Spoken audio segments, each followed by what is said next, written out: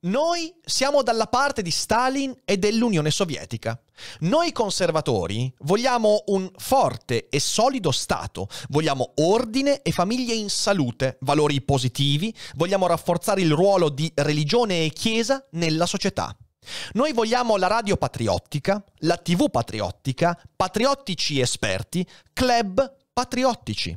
Vogliamo che i media diffondano l'interesse nazionale. Queste sono alcune delle frasi pronunciate da Alexandra Dugin nel 2007-2008 e questo è Alexandra Dugin, il Rasputin contemporaneo, non solo fisionomicamente, ma anche per la sua vicinanza a quello che è lo zar contemporaneo, ovvero Vladimir Putin, ideologo di riferimento di Putin, promotore del nazionalbolscevismo, che cercheremo di scoprire che cosa diavolo sia, e ispiratore, come vedremo, del conflitto che è scoppiato proprio in questi giorni fra Russia e Ucraina.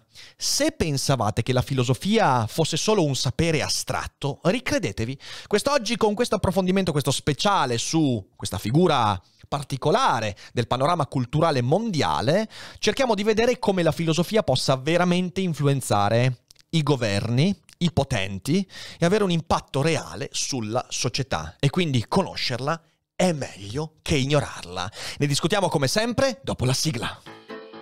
Daily Cogito, il podcast per tutti e per nessuno. Puoi amarlo, puoi odiarlo, ma non puoi ignorarlo.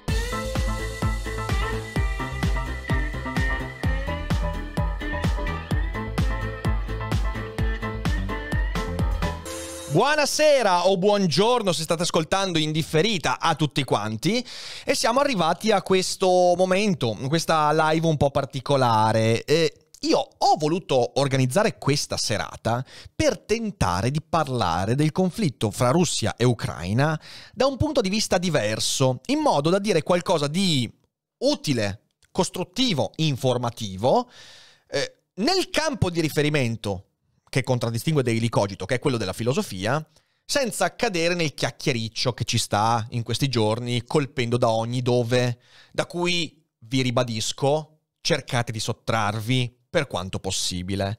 Così oggi cerchiamo di mettere insieme qualche ragionamento utile per capire un po' meglio perché quello che cercheremo di fare questa sera è ricostruire parzialmente, perché insomma in un'oretta e mezza non riusciremo a, diciamo così, eh, dispiegare tutto il corpus di opere, di pensieri di questo, di questo filosofo, però cercheremo di chiederci su cosa è che si fonda la propaganda putiniana, quella narrazione, quella serie di storie che sentiamo di qua e di là, o per eco oppure per fonte diretta, e che, diciamo così, costituisce la narrazione che dà luogo anche, fra le altre cose, eh, al conflitto in Ucraina e fra le altre le, la, la, alla nemesi, diciamo, l'inimicizia fra Russia e Stati Uniti eh, e tutto quanto. E perché e in che modo gli avvenimenti di questi giorni hanno radici profonde? Perché come vedremo le radici sono molto molto profonde. Un conflitto del genere non si scatena dall'oggi al domani perché uno è pazzo, perché Putin non è pazzo. Questo lo voglio dire, signore e signori, ascoltatemi bene perché questa è una cosa veramente importante. Ogni tanto io lo ribadisco su Daily Cogito, ma non è mai sufficiente. Negli anni 20-30 Hitler ma possiamo citare anche Mussolini, Stalin, tutti i grandi dittatori, pazzi, sanguinari della storia, questi non sono emersi perché a un certo punto un cervello dà di matto e riesce a coinvolgere in una follia un'intera nazione o un intero continente o tutto il mondo. Hitler era umano ed è questa la cosa più fastidiosa da dire. Hitler era umano, Mussolini era umano. Stalin era umano. Tutti questi erano esattamente come noi. Stesse paure, stessi difetti, ovviamente differenziazioni caratteriali e storie diverse, ma ricordatevi che i tiranni sono la conseguenza di processi storici molto lunghi. E se noi vogliamo essere superficiali, diciamo che Hitler era pazzo, che Stalin era l'anticristo e quell'altro era Mona, se invece vogliamo essere un po' più attenti e analitici, guardandoci allo specchio, dovremmo sempre riconoscere gli aspetti dei tiranni, i profili i difetti che portano poi un individuo a diventare tirannico. Ricordatevela questa cosa qua. Quindi, dall'altra parte, gli avvenimenti di questi giorni hanno radici profonde e non emergono perché Putin è pazzo. Emergono perché c'è un movimento, perché c'è un processo. Se noi non capiamo questo processo, non lo ricostruiamo per quanto possibile, non capiamo il presente. Questo significa studiare la storia e anche la storia della filosofia. E quindi ci domanderemo che ruolo gioca la filosofia nel potere e nella guerra. Molto spesso la filosofia viene derubricata a sapere astratto, privo di impatto sulla realtà, una cazzata. In realtà tutti questi avvenimenti, eh, questi momenti in cui politici prendono il potere, prendono decisioni, emergono anche da ideologie, anche da ispirazioni filosofiche, anche di pensatori in vita o a volte di pensatori non in vita. Dugin è per lo sguardo che vogliamo lanciare, un punto di osservazione privilegiato ci permette di ricostruire alcuni filamenti della storia spezzata che sempre ci troviamo di fronte. Il presente è una storia spezzata, nel senso che noi non riusciamo a ricostruire tutte quante le concause che portano all'oggi, ma abbiamo il dovere razionale di ricostruirne alcune ed è quello che cercheremo di fare quest'oggi. Perciò bentornati a tutti, sono molto felice di avervi qua. Eh, prima di leggere due o tre cose della chat, che adesso insomma eh, cercherò di, di, gestire con l'aiuto dei nostri moderatori, eh, dove andare a recuperare cose di Dugin. Allora, in Italia è difficile recuperare i libri di Dugin, si trovano sul sito di IBS perché gli editori sono editori tipo Altaforte, quindi editori molto di margine, ok, editori schierati politicamente. In Italia sono gli editori di estrema destra che pubblicano Dugin, ricordiamocelo. Eh, però si trovano alcune opere su IBS. Io le opere che ho di Dugin ce le ho in inglese, infatti ho fatto lo sforzo di tradurvi alcune cose, alcuni discorsi. Tante cose ho dovuto prenderle da siti che erano direttamente in russo e spero che la traduzione, ovviamente utilizzando anche Google, Tras- Google Translate, ragazzi, mm, perdonatemi, ma il russo non l'ho ancora studiato, eh, magari un giorno sarà, sarà, la mia prossima missione di vita, però dicevo, spero di aver ricostruito abbastanza bene eh, il senso delle cose. Comunque poi, se state ascoltando in differita, metterò tutte le fonti a cui mi sono approvvigionato menzionato sotto. Dicevo, ci sono molte opere, la più importante opera di Dugin è la la 4TP si chiama, la quarta teoria politica. È un testo degli anni 90, se non sbaglio del 1998, testo che è stato molto diffuso, tradotto in tutte le lingue e che presenta appunto la sua quarta teoria politica, ovvero la teoria politica che supera le tre teorie politiche novecentesche che hanno eh, avuto la loro ascesa e poi la loro discesa. In primo luogo il fascismo, anzi il nazifascismo, il comunismo e il liberalismo. Eh, le prime due sconfitte dal terzo, il terzo secondo Dugin in grande declino, come vedremo. E da questo nasce la necessità della quarta teoria politica che cercheremo di descrivere per quanto possibile. Comunque di Dugin trovate tante conferenze anche su YouTube. Eh, lui ha fatto un tour in Italia nel 2019, parla l'italiano, è una persona molto colta in realtà, non c'è nulla, nulla, nulla da dire a riguardo. Parla sei lingue, il russo, l'inglese, il francese, l'italiano, il tedesco e lo spagnolo. Quindi insomma capite che è un tizio che va preso sul serio per la sua erudizione, per l'impatto che ha, però poi va capito bene. Eh, e in questo tour in Italia nel 2019 è stato intervistato da varie televisioni, trovate tanti canali che ne parlano, comunque gli approfondimenti sul web non mancano assolutamente. Ha tanti estimatori in Italia, soprattutto nella parte che viene definita populista. Dugin si definisce con orgoglio un populista, anche questo cercheremo magari di capire qual è il connotato di questo termine populismo e questo è quello che ci aspetta. Come sempre io divido la live in alcuni capitoli, eh, fra un capitolo e l'altro io vado poi a leggere la chat, quindi evidenziate le vostre domande. Allora, eccoci qua, sì, piacerà Salvini, già ho capito, esattamente, esattamente. Ehm, vediamo un po', vediamo se c'è qualche domanda. Eh, Uh, segnalo il software DeepL se servono traduzioni automatiche ma abbastanza ben fatte. Grazie Marcus, poi, poi vado a informarmi. Uh, con Google, Google, Translator non ho avuto grossi problemi e non mi sembra che siano sgrammaticate le frasi che andrò a, a, a leggervi. Non è un filosofo, è un filoputinosofo, Lion Club. Eh, ma non, io, allora, sinceramente non sto qua, no, non mi piace prendere parte al dibattito sul fatto che uno sia o non sia un filosofo. Eh, per me, Dugin, grazie X-Lite per 72, grazie anche a Diego Spinola per gli abbonamenti, grazie mille, bella gente. Ehm, Dugin eh, di fatto è un filosofo, poi magari è un filosofo che non ci piace, però è un filosofo in quanto eh, usa la storia della filosofia e il linguaggio filosofico per scrivere libri, creare interpretazioni della realtà con cui poi magari siamo in totale disaccordo, però c'è, non c'è alcun dubbio. Ehm, questo ti direi. La Russia ha mai avuto un pensatore liberale? Eh, Riccardo Vicari. Oddio, liberale liberale mi viene in mente Zamyatin, che è, un, è lo scrittore, il, il, primo autore di una distopia. Eh, ha scritto un romanzo che si intitola Noi, Nikolai Zamyatin. Liberale oddio, non so se definirlo liberale, sicuramente era la cosa che si avvicinava di più a un liberale. Ovviamente ci viene in mente Solzhenitsyn con Arcipelago Gulag, anche se in alcuni momenti della sua vita si è comunque definito critico del liberalismo. Eh, poi ci sono tanti pensatori dissidenti, Turgenev, ce ne sono tanti che potrei citarti. Ehm, liberale, liberale no comunque, ecco, cioè non liberale nel senso occidentale. Ecco, no, giusto, giusto, avete ragione. Ayn Rand, Ayn Rand, anzi libertaria, infatti Ayn Rand è uno degli antidoti eventualmente al pensiero di, mm, di, di eh, di Dugin, eh, però ecco, eh, la Rand è liberale perché si è trasferita negli Stati Uniti, quindi liberalismo per me è una cosa che è difficile da contestualizzare nell'ambito della cultura russa.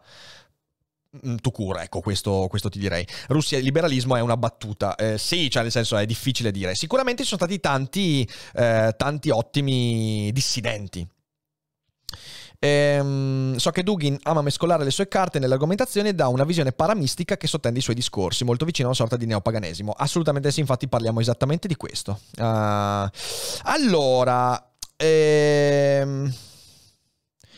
Vediamo Lorenzo cosa dice. Rick ha, ha, letto qualche testo di Dugin? Sì, assolutamente. Da docente universitario di filosofia politica specializzato nel pensiero di Dugin, noto una profonda confusione ed una lunga serie di errori in questa spiegazione. Soprattutto Dugin non è l'ideologo di Putin, basterebbe leggere i suoi libri e articoli, nonché conferenze per comprenderlo. C'è anche un intero libro dedicato alla critica di Putin, edito anche in italiano, potrebbe essere interessante realizzare un confronto aperto a riguardo. Eh, allora, il fatto che venga definito l'ideologo di Putin non significa che Dugin sia d'accordo con Putin, significa che Putin ha preso molto spunto da Dugin e questo è indubitabile lo ammette sia Dugin che Putin. E non è un caso che poi nel pensiero di Dugin ci siano molti rimandi anche alla situazione che sta vivendo in questo momento storico. Quindi sono contento che eh, Lorenzo sia, sia, qui ad ascoltare la live, eh, però... Eh, il fatto che Dugin abbia criticato Putin per le politiche economiche non significa che non sia definibile come un punto di ispirazione proprio di Putin. Ehm, bene, spero che eh, la live poi venga, venga apprezzata. Allora, partiamo con il primo capitolo. Partiamo con il primo capitolo della live che si intitola Partiamo dalla fine. Ucraina perché? Allora, cerchiamo di dare contesto subito a questa cosa, ok? Cerchiamo di, di dare contesto a questa cosa. Ucraina perché? Uh, Dugin nel 2010 fa un discorso in cui dice il rinascimento russo non può che fermare a Kiev. Cioè Kiev è una tappa fondamentale del Rinascimento russo. Che cos'è il Rinascimento russo? Il Rinascimento russo è letteralmente, come vedremo, un programma politico che si trova all'interno dei testi di Dugin e ha a che fare con la ricreazione, la rinascita della grande madre Russia. Attenzione, Qui c'è un punto subito importante. Quando si parla della tradizione della madre Russia, non, cioè, diciamo così, è la storia che ha portato la Russia ad avere un governo forte, eh, con l'esclusione del periodo leninista, perché Dugin, eh, che come dicevo all'inizio, insomma, abbiamo anche fatto la citazione, eh, non rigetta eh, la, la, Russia stalinista, anche se poi col tempo si è ammorbidito e ha un po' criticato, sicuramente rigetta la Russia leninista, la quale non voleva uno Stato forte, voleva l'abolizione dello Stato, lo sappiamo. Essendo la cosa più vicina a un marxismo eh, di interpretazione più, diciamo così, eh, classica, ecco, mettiamola così, eh, e quindi rigetta quell'idea di internazionalismo antistatalista leninista e invece poi dall'altra parte sposa, cerca di mettere insieme una visione pre-sovietica, quella della grande madre Russia imperiale dello zar, e poi dello Stato molto forte e centralizzato stalinista. Ehm, quindi il rinascimento russo deve passare per forza da Kiev. Questo è un punto essenziale che va capito per contestualizzare l'attacco, che in realtà avviene da almeno un decennio, essendo iniziato con la Crimea, insomma sapete tutto, ormai vi hanno ammorbato in questi giorni con queste cose qua, eh, però Dugin, e questo è importante dirlo, è uno dei principali promotori della guerra in Ucraina. Questa cosa qua si vede tanto nei suoi libri quanto nei discorsi che spesso tiene, nelle conferenze, ne trovate anche alcune tranquillamente su YouTube. È un sostenitore di DPR, non so come si dica in russo, però DPR e LPR, sono i due partiti filorussi separati separatisti del Donbass, di Donetsk e di eh, Lu, Lu, Lu, Luhansk. Eh, aspetta, non credo di averla detta giusta, ho sbagliato. Eh, quindi quando abbiamo sentito, scor- prima dell'attacco in Ucraina definitivo di Putin, eh, il riconoscimento delle repubbliche di Luhansk e Donetsk, ricordatevi che nel corso degli ultimi dieci anni Dugin ha appoggiato molto più che soltanto ideologicamente, ma anche cercando finanziamenti e appoggiando e via dicendo i leader, i separatisti, questi movimenti filorussi separatisti. Quindi lui è molto molto dentro a tutti i movimenti che avete visto in questi ultimi giorni e in passato ha parlato letteralmente dell'eradicamento dell'identità ucraina. Come sapete Putin non riconosce la sovranità dell'Ucraina, eh, Putin ha ammesso chiaramente che l'Ucraina è uno Stato illegale, filonazista, fatti, fatto di tossicodipendenti, poi quindi ne di tutti i colori su Zelensky e il governo. Eh, Dugin non lo riconosce e parla letteralmente di un eradicamento dell'identità ucraina alcuni interpretano male questa cosa qua, non è una chiamata al genocidio, anche perché in realtà nelle parole di Dugin ucraini e russi sono fratelli, quindi non, non, non c'è una chiamata al genocidio come alcuni hanno cercato di dire. È un eradicamento dell'identità politica ucraina che non ha senso di esistere. Questo ha portato nel tempo ovviamente Alexandra Dugin ad essere bandito da Kiev, però questo è lo stato dell'arte nella posizione di questo filosofo nei confronti dell'Ucraina. Scrive, sempre Dugin, Solo dopo la rinascita della grande Russia potremo essere veri protagonisti globali. Questa frase io l'ho voluta mettere perché denota un aspetto che tanti analisti occidentali hanno, hanno, assolutamente denotato, fra cui anche Bernard Henry Levy, che ha avuto un dibattito con Dugin nel 2019, lo trovate completamente integrale su YouTube ed è molto bello.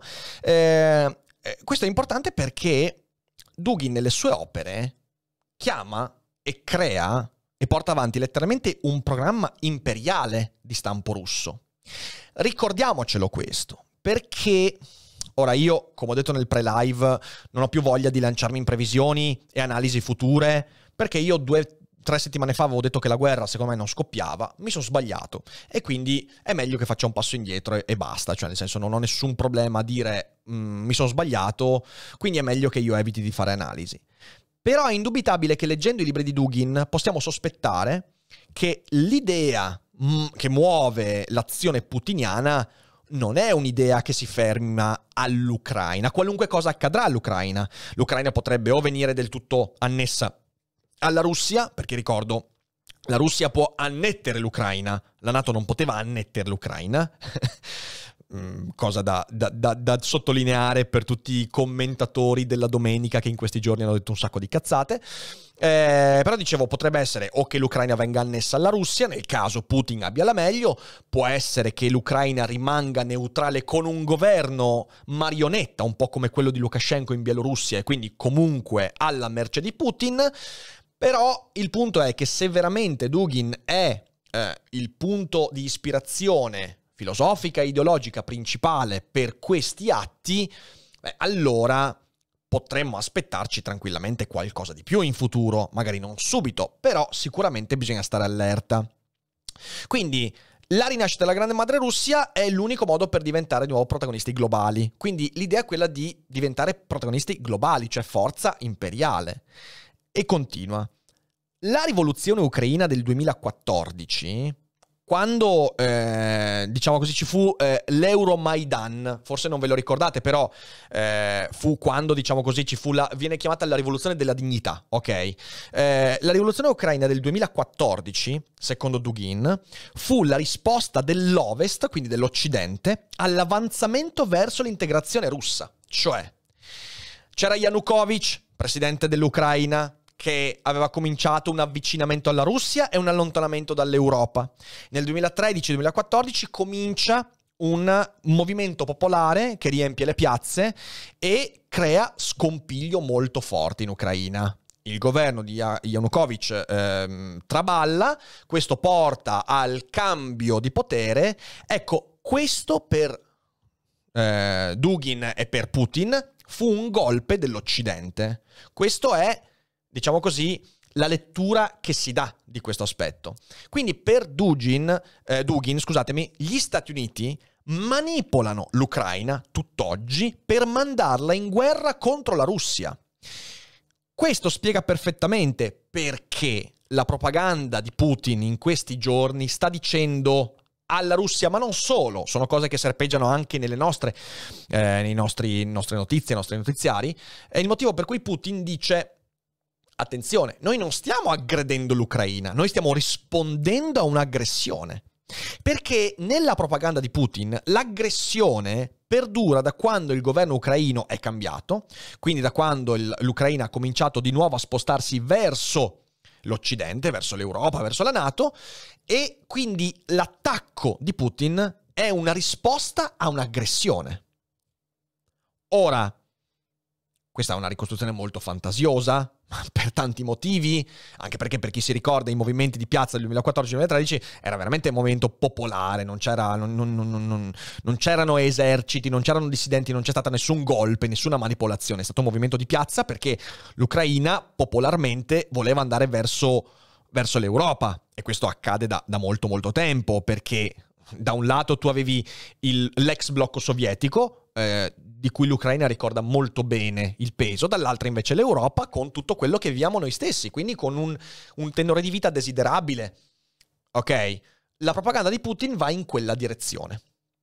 E, ed è un, una lettura che si dà, ok? Questo io ve l'ho ricostruito perché, pur essendo fantasioso, questo è ciò che sta alla base. Di nuovo, le idee di Dugin stanno alla base di questa propaganda.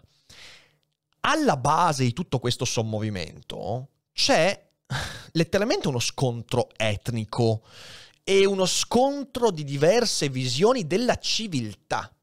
Ed è per questo che è importante andare al nocciolo della filosofia, perché nella filosofia si sviluppano quei concetti che poi tu vedi manifestarsi concretamente.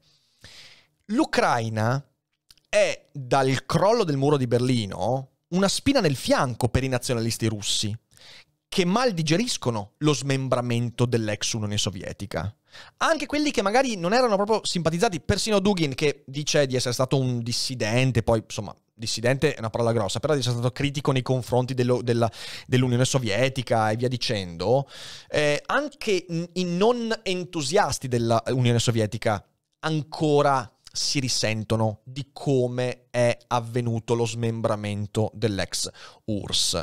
E Putin è parte integrante ed è manifestazione eh, di quel malcontento. Yeltsin negli anni 90 cercò di far superare traballando enormemente questo tipo di malcontento, ma dall'altra parte invece eh, Dugin fu proprio un contestatore di Yeltsin. Quindi l'Ucraina è, spi- è, una spina nel fianco e anche questo è un motivo per cui vediamo quello che sta succedendo. E Dugin gioca su questo malcontento. È anche il motivo della sua popolarità. Lui è molto popolare, è riuscito a fare breccia in alcuni aspetti molto sentiti della popolazione russa e non solo, e unisce una rivalità etnica presente, lo scontro nel Donbass, per esempio, il discorso fra filorussi e russofobi. Ricordiamoci che Putin ha costruito tutta la sua propaganda sulla contrapposizione fra russi e russofobi, come se in Ucraina ci fossero letteralmente due etnie diverse, quando poi in realtà non è così ad un esoterismo conservatore vicino a quello di René Guénon, che è uno dei punti essenziali di ispirazione di, di, di Dugin. Infatti scrive Dugin, sono un seguace di René Guénon che ha identificato la crisi della società occidentale europea ben prima del XXI secolo. La forma di degradazione spirituale dell'Europa è cominciata con il modernismo, la perdita dell'identità cristiana, ma è arrivato al culmine negli anni 90, quando tutte le istituzioni vennero plasmate dal liberismo di destra in economia e dal liberalismo di sinistra nella cultura. L'approvazione di matrimoni gay mi hanno fatto capire eh, mi ha fatto capire eh, verso dove stava andando l'Europa. Uh, l'approvazione dei matrimoni gay, mio Dio! Si arriverà presto al momento finale, dopo ci sarà il caos, la guerra civile e la distruzione. Forse è troppo tardi per ribaltare la situazione. Ecco, queste sono idee veramente che esprimeva mm, René Guénon e sono quasi copincollate, queste cose le diceva chiaramente qualche decennio prima, qualche anno prima Guénon, ma poi eh, continua, eh, quando si parla della, del progetto della grande madre Russia, del partito eurasiatico, come vedremo, eh, scrive, geopoliticamente i paesi baltici non rientrano nella sfera di interesse dei russi. Con la Georgia siamo in un momento di stabilità. Il problema resta con l'Ucraina perché la situazione non è pacifica, non abbiamo liberato i territori dove l'identità pro-russa è dominante, dove è vittima di un misto di neonazisti e neoliberali. L'Ucraina resterà il problema numero uno, ma con Trump c'è la possibilità di uscire dalla logica della guerra. Questa era un'intervista fatta nel 2018 quando ancora c'era Trump, o 2019 anzi scusatemi. Eh, quindi l'Ucraina resterà il problema numero uno, ma con Trump c'è la possibilità di uscire dalla logica della guerra. Adesso Trump non c'è più, e quindi insomma sapete c'è Biden, ma lungi eh, dalle idee di Dugin il fatto che questo dipenda da chi siede sul trono negli Stati Uniti, anzi. Quindi capite bene che la visione di Dugin è una visione etnocentrica, nel vero senso della parola. Si tratta di dare disvelamento al destino del popolo russo. Nel libro eh, La quarta teoria politica, ma anche in altri libri, in altre interviste, Dugin parla continuamente di destino. Non è un caso che sia un heideggeriano, ok? Militante, quindi insomma un, un interprete fantasioso di Heidegger sotto alcuni aspetti. Perché lui parla proprio del destino del popolo russo, come se il popolo russo avesse il momento in cui deve effettivamente adesso prendere il suo. In effetti, eh, nella sua storia, la storia di Dugin è particolare. Eh, è stato cresciuto religiosamente, eh, era entrato, eh, ha fatto parte di movimenti tanto filocomunisti quanto filofascisti. Quindi insomma ha avuto... E poi ha aderito al, vediamo se lo dico giusto, Anastasianesimo, la setta dei cedri... La se, eh, risuonanti, ok? È una setta religiosa questa qua, letteralmente, è una setta emanata che mette insieme uh, la religione cristiana ortodossa e uh, la, la, il neopaganesimo. Eh, e infatti unisce tradizione ortodossa russa al neopaganesimo, eh, che esiste da sempre poi nei popoli slavi, nella loro tradizione. Si autodefinisce vedismo russo, cioè l'unione del cristianesimo ortodosso e della tradizione vedica.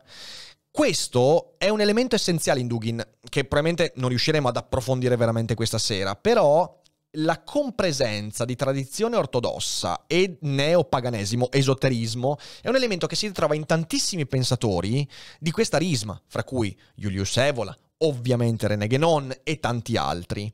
Ehm, secondo questa visione, ed ecco il punto veramente, veramente importante, secondo questa visione, le etnie esistono cioè, cosa vuol dire esistono? Sono hanno una loro ontologia. Un'altra cosa che Dugin continua a ripetere anche nelle interviste, ma anche nei suoi libri, è che esiste un'anima dei popoli. Cosa vuol dire? Vuol dire che è il popolo che esiste essenzialmente.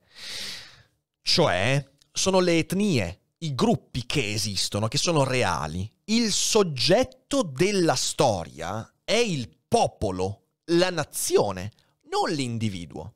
Quando prima ho parlato di scontro di visioni del mondo, Era questo che intendevo. Il grande nemico di Dugin è Karl Popper, con il libro La società aperta e i suoi nemici. E la società aperta è proprio il nemico contro cui si scaglia. Perché lui dice, vi ricordate Popper, abbiamo fatto anche la monografica qualche tempo fa, Popper eh, diceva quella frase famosa, non esiste la società, esistono gli individui che compongono la società, ma la società è l'astrazione degli individui, perché il soggetto della storia sono gli individui che attraverso le loro azioni, piccole, grandi, stupide, giuste, sbagliate, compassionevoli, violente, via dicendo, formano poi il movimento della storia. Ma il popolo, la società, il gruppo è un'astrazione. Ad esistere è l'individuo con le sue responsabilità, i suoi comportamenti, le sue caratteristiche, la sua unicità e irripetibilità. Questo è ciò contro cui Dugin si scaglia, perché non è così. Per Dugin è il popolo ad avere un'anima, è il popolo quindi a diventare soggetto della storia, ad avere una sua realtà, una sua essenza. Questo ricorda moltissimo l'eghelismo, ovviamente. L'individuo è soltanto un momento negativo del movimento universale dello spirito che invece fa uso di popoli, di nazioni, di grandi sommovimenti della storia per dipanarsi e per raggiungere poi il suo destino, il suo compimento. Dugin, quindi, da questo punto di vista, eh, basa la sua visione su una descrizione esoterica e archetipica dei popoli. Cioè il suo intento è quello di reimmettere nel discorso pubblico e politico il concetto di sacro, di sacralità. Ecco, il movimento di secolarizzazione dell'Occidente è il grande nemico per Dugin. Dugin, parlando del, de, de, del, dello spirito dei popoli, del destino manifesto della Russia, eh, dell'anima dei popoli, eh, de- della, della realtà dei gruppi e delle nazioni, e quindi della secondarietà dell'individuo, in questo modo da un lato contesta l'Occidente, il liberalismo individualista che porta al centro del mondo il soggetto con le sue responsabilità, le sue caratteristiche e la sua libertà individuale, che per noi, lo sappiamo, beh, è il nostro dogma, mettiamola così, è proprio un dogma quello della libertà individuale nostra, mia, che comporta il benessere, comporta la responsabilità, comporta la costruzione del diritto, comporta tutto quello che viviamo. quindi da un lato riesce a contestare questo, dall'altro dà uno spazio riflessivo che reimmette il concetto di sacralità, perché laddove centrale e reale non è più l'individuo con i suoi comportamenti, i suoi gesti, la sua responsabilità, le sue parole, le sue idee, ma è il gruppo, tu abbandoni di fatto l'empirismo in cui l'esperienza è essenziale e la comprensione razionale dell'esperienza è essenziale per darti ovviamente a un irrazionalismo eh, collettivista che porta maggior eh, rilievo sull'interpretazione simbolica della realtà che non poi sulla realtà empirica che nella nostra tradizione sviluppa- si è sviluppata poi nel sapere scientifico. È il motivo questo per cui Henri Lévy, Bernard Henri Lévy, eh, nell'intervista che ho citato, che poi metto in, li- in descrizione nel 2019, definisce razzista il pensiero di Dugin. Dugin, che è un fine sofista, quindi un bravo argomentatore, continua a dire che lui non è razzista. Assolutamente no, perché la sua visione del, del, delle, dell'etnicità come anima dei popoli, e quindi questa differenza ontologica fra i popoli, non sottende, non sottintende una gerarchia nelle diverse razze ed etnie. Ma è evidente che uh, questo non è il fondamento del razzismo. Il razzismo in realtà si fonda sull'idea che le etnie siano inviolabili e non comunicanti. Cioè non serve dire che uh, io e il russo, fra, fra me e lui c'è una superiorità o un'inferiorità. Basta dire che fra me e il russo c'è un limite invalicabile, ontologico, che rende il me italiano e il lui russo ontologicamente fondati. Questo è razzismo che ci piaccia o meno, anche perché poi vorrei capire come da questo non si vada inevitabilmente a fare il confronto fra le diverse etnie e creare anche una gerarchizzazione. Capite bene che insomma è un, un espediente retorico, perciò è un pensiero razzista, perché il razzismo non è solo affermare superiorità o inferiorità delle razze, è anche discernere le razze, le etnie, i popoli come ontologicamente fondati. E deve esserci in questo esoterismo e simbolismo, Perché ovviamente non c'è nessun tipo di prova empirica. È tutto non falsificabile, è tutto al di fuori di un sapere scientifico, è tutto al di fuori di una dis- dimostrabilità e quindi falsificabilità. E anche in questo si vede la distanza fra un pensatore come Popper e uno come Dugin. E, e questo comporta eh, l'inevitabile eh, discesa di questo pensiero nell'esoterismo e nel misticismo. Ed è in questo ambito che, come vedremo fra poco, si instaura la critica di Dugin all'Occidente. È su questo tipo di spaccatura che bisogna comprendere perché Dugin prende posizione contro l'Occidente. Detto questo, passerei alla chat. Allora, allora, vediamo un po'. Vi vedo belli attivi, belli vivi. Spero di non star correndo troppo. Spero di. Grazie a Mr. Bock che ha regalato un abbonamento. Grazie anche a X-Lite per il Prime. Grazie mille, bella gente. Grazie mille. Ehm, allora. Ehm. Ecco, mi hanno anche affumicato, quindi si va con la fumicatura. Allora, Fili chiede, leggendo la quarta teoria politica, mi avevano molto interessato le sue analisi delle tre ideologie del Novecento, in cui assegna ad ognuno un soggetto storico, sia individuo, razza e classe, mentre ovviamente ritengo folli le sue conclusioni. Cosa ne pensi di questo tipo di analisi?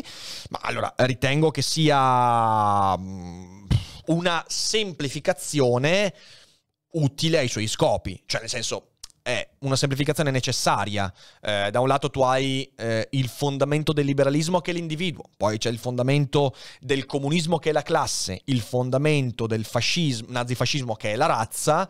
Ehm, è una grande semplificazione perché queste erano ideologie molto più complesse, quindi può essere interessante per contestualizzare, però poi sono analisi che vanno, cioè sono proprio, eh, diciamo così, mh, create ad hoc per sostenere poi le conclusioni a cui arriva, come qualsiasi semplificazione inevitabilmente. Allora... Eh, Tinea dice che in un momento di debolezza adolescenziale mi feci catturare dalla crisi del mondo moderno di Genon, un libro terrificante. Sono di quei libri che fanno breccia e fioriscono la debolezza delle persone. Tinea, hai perfettamente ragione e infatti poi io stasera non, non, non ne parlerò troppo di questa cosa, però eh, i libri di, di, mm, eh, di Dugin sono proprio di quel genere lì sono proprio di quel genere lì. Eh, io ho avuto... Mh, mm, eh, ho avuto la, la, lo stesso effetto con, um, con Evola. Eh, non mi sono fatto catturare troppo, però Cavalcare la Tigre è un libro che mi aveva catturato subito, di primo acchito.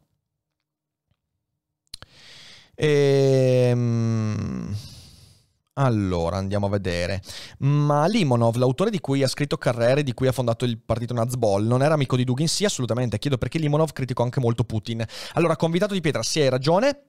Loro sono entrambi cofondatori del partito Nazbol, quindi Nazional Bolscevico, eh, che è un partito ultranazionalista russo di estrema destra, eh, molto razzista, che, che ne dica Lorenzo Maria Pacini, mi dispiace che non si riconosca il razzismo quando c'è molto razzista, molto suprematista, quindi insomma, ma lasciamo perdere. Ehm, e, e, poi si sono distaccati proprio perché eh, Limonov ha preso del, una direzione molto critica nei confronti di Putin, mentre, mentre Dugin non così tanto, anzi all'inizio è stato, è stato molto, molto vicino, molto vicino insomma in qualche modo a Putin.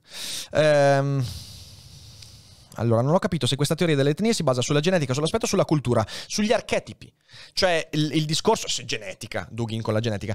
Ehm, la, la, la, l'idea espressa da Dugin è che la differenza ontologica è ontologica cioè ha a che fare con gli archetipi di queste civiltà. Eh, e quindi con i simboli profondi delle civiltà. È una cosa che si costituisce, è, è riduttivo dire culturalmente, non è solo cultura è proprio ciò che sta alla base ontologica della nostra, eh, della nostra civiltà. No, aspettate un attimo, aspettate un attimo, via. Eh, io, eh, le, le, fake news mi dispiace, ma eh, no, cioè queste balle assurde, no. Lorenzo Maria Pacini, no, grazie. non aderì al partito Nazbol, va bene. Ok, no, perché adesso obiettivamente, signore e signori, mi spiace. Ehm...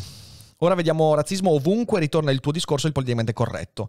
Ma Gigo, eh, vedere razzismo ovunque è sbagliato. Se però io dico, cioè capisci, allora il punto è il seguente. Se io ti dico che fra un veneto e un sardo c'è una differenza che è ontologica, ovvero esiste una differenziazione metafisica delle nostre diverse umanità, questo non ti sembra razzismo? Cioè non ti sembra che questo fondi l'idea, per esempio, che uno è più umano dell'altro, per esempio, o che uno si avvicini di più a un'idea di umanità rispetto all'altro, per fondamento ontologico. Io sono sempre molto critico nei confronti delle derive del politicamente corretto, però questo è razzismo, cioè è proprio definizione di razzismo, capite? Non mi serve dire, ah beh, poi il Veneto è superiore al Sardo o viceversa. Ah, Ric Dufer è superiore a Shai. Non, è, non, mi non serve questo, perché questa conclusione è già insita in quello che io dico nella differenza ontologica. Se questo non è razzismo, veramente non so bene più che cosa sia razzismo. Capite? Scania Losi dice: Ricordi la questione dello sradicamento in Heidegger? Dugin riprende molto questa tesi etnocentrica per giustificare il nazionalismo, il socialismo e demonizzare l'ombra del comunismo. Chiede soprattutto del processo di mondializzazione. Sì, sì, è vero, è vero, sono d'accordo. Eh, infatti, è uno dei punti che riprende proprio da Heidegger. Sì, ma volevo dire che la gente crida al lupo, al lupo e quando non ti è più nascosto non lo, non lo riconosce. Sì, sì, è vero, beh, sì, su questo sono d'accordo. Cioè, se tutto diventa razzismo, poi non, ric- non riconosciamo più i veri razzismi. Quello di Dugin, che piaccia o meno al prof che ho, che, che ho, che, che ho bannato, eh, è, è, razzismo. E come se è razzismo? È, anzi, è razzismo più subdolo, perché ti sembra di stare dicendo in realtà una roba, una roba tranquilla. Certo, Marcus, è stato bannato perché se poi mi spargi, mi spargi la notizia fasulla, fasulla, che non ha neanche mai aderito Dugin al Partito Nazionale Bolscevico, è una notizia fasulla. Ok, molto semplice. Ehm, razzismo simbolico, definibile anche come razzismo culturale, che non utilizza la teoria genetica, bensì il relativismo culturale, in cui ogni specificità culturale viene valorizzata, ma al contempo isolata monadicamente, con tutto rispetto per le monade di Leibniz. E Brea Spirit, ribadisco, può anche essere questo, ma il fondamento di ogni razzismo è quello lì. Cioè l'idea del fondamento ontologico è che fra me, che sono A, e te che sei B, non c'è un sostrato comune. Perché se la nostra differenza non è culturale, ma ontologica, ribadisco, si parla di differenza ontologica, si parla di anima dei popoli, significa che i russi hanno un'anima, addirittura dice hanno un angelo, Dugin dice i russi hanno un angelo, i cinesi ne hanno un altro. E per definizione di uh, Dugin, l'angelo di un popolo e l'angelo di un altro possono andare in accordo, l'angelo di un popolo e l'angelo di un altro non vanno d'accordo. Ragazzi, mi spiace, ma se non vedete il razzismo in questo, avete un problema. Perché significa che non capite da dove partono i razzismi e potreste esserne tranquillamente vittime. Perché da un punto di vista ontologico, la scienza ci dice chiaramente che non esiste differenza ontologica fra gli esseri umani. Non esiste. A livello genetico, a livello fisico, a livello di sviluppo del nostro, de, de, della nostra fisiologia e via dicendo. Ci differenziamo perché poi viviamo in contesti diversi. Ma dire che gli italiani hanno un angelo e i kenioti un altro angelo, ovvero sono ontologicamente non compatibili o comunque differenti ontologicamente, se non ci vedete razzismo, non capite perché si è arrivati ad alcuni fascismi, perché si è arrivati in vari momenti della storia a definire alcuni gruppi di uomini come umani e altri non umani. Eh, ragazzi, vi prego, cioè non perdiamoci in queste cose qua. E poi non facciamo, mm, cioè nel senso non, non, non Signorino dice, comunque di etnia o di razza si parla anche nei libri di medicina che usiamo all'università. Potete spiegare meglio perché Dugin è razzista? Questo dice chiaramente follie, ma non possiamo negare ad esempio differenze genetiche fra popolazioni diverse. No, cosa, scusa? allora, mm. qui stiamo mischiando dei livelli che non andrebbero mescolati. Se vogliamo stare sul discorso di Dugin, mettiamo da parte la genetica. Dugin non parla di genetica, non è questione di genetica questa, ok? Quella al massimo si, si, si, si mette insieme a qualcos'altro, ok? Quindi si aggiunge. Ve lo ripeto, l'ultima volta perché poi mi sembra di essere abbastanza chiaro. Dugin dice ogni popolo ha una propria irriducibile essenza, mettiamola così, ok? Quella che chiama anima, angelo, Cosa significa? Significa che il popolo russo non è il popolo russo inteso come gruppo etnicamente sviluppatosi in un contesto con un linguaggio, una storia, che però dipende dal contesto. No, significa che il popolo russo, ovvero gli individui rossi, russi, sono tutti accomunati da un'anima.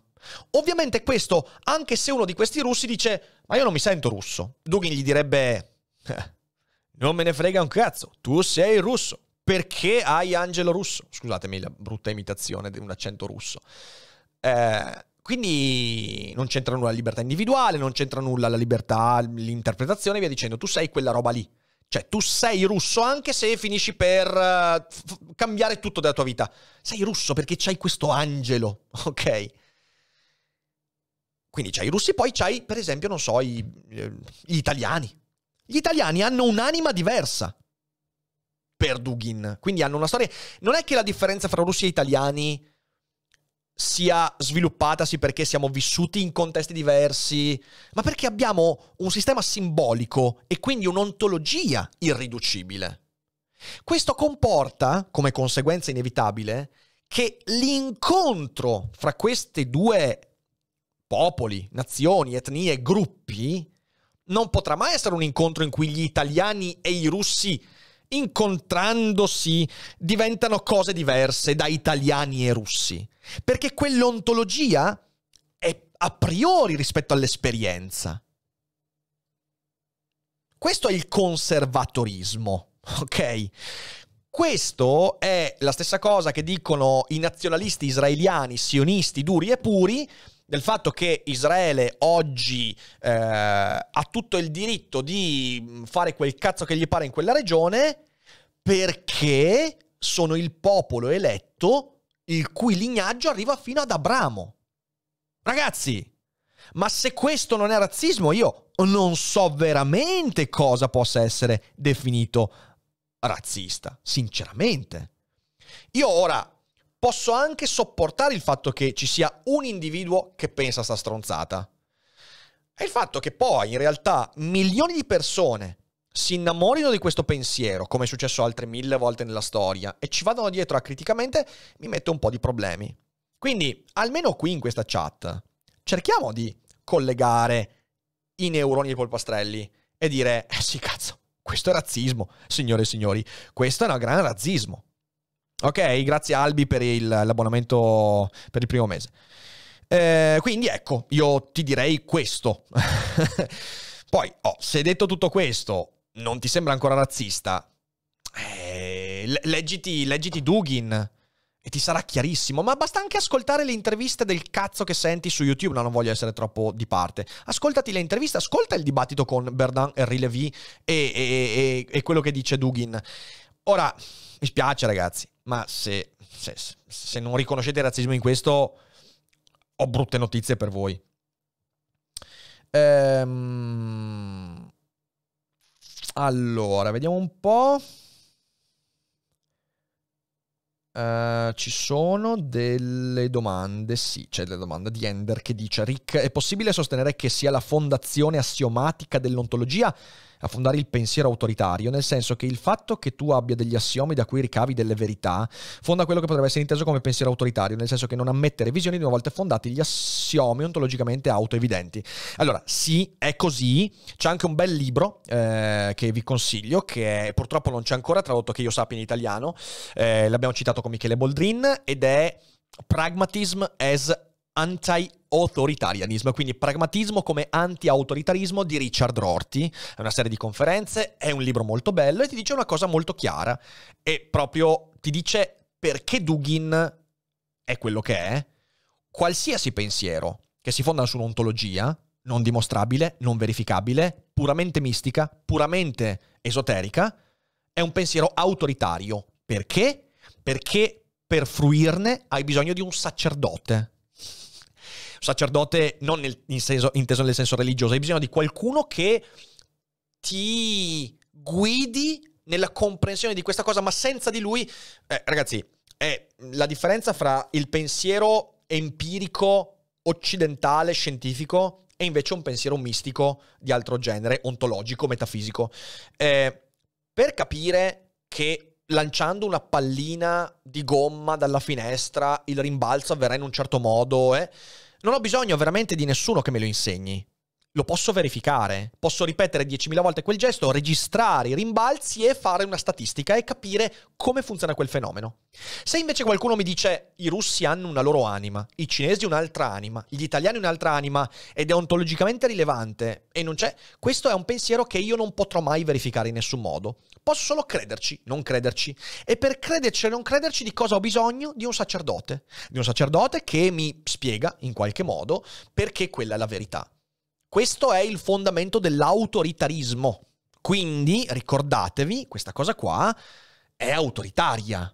Poi se vi sta bene, sti cazzi. È il motivo per cui, di nuovo, perché quel pensiero è razzista?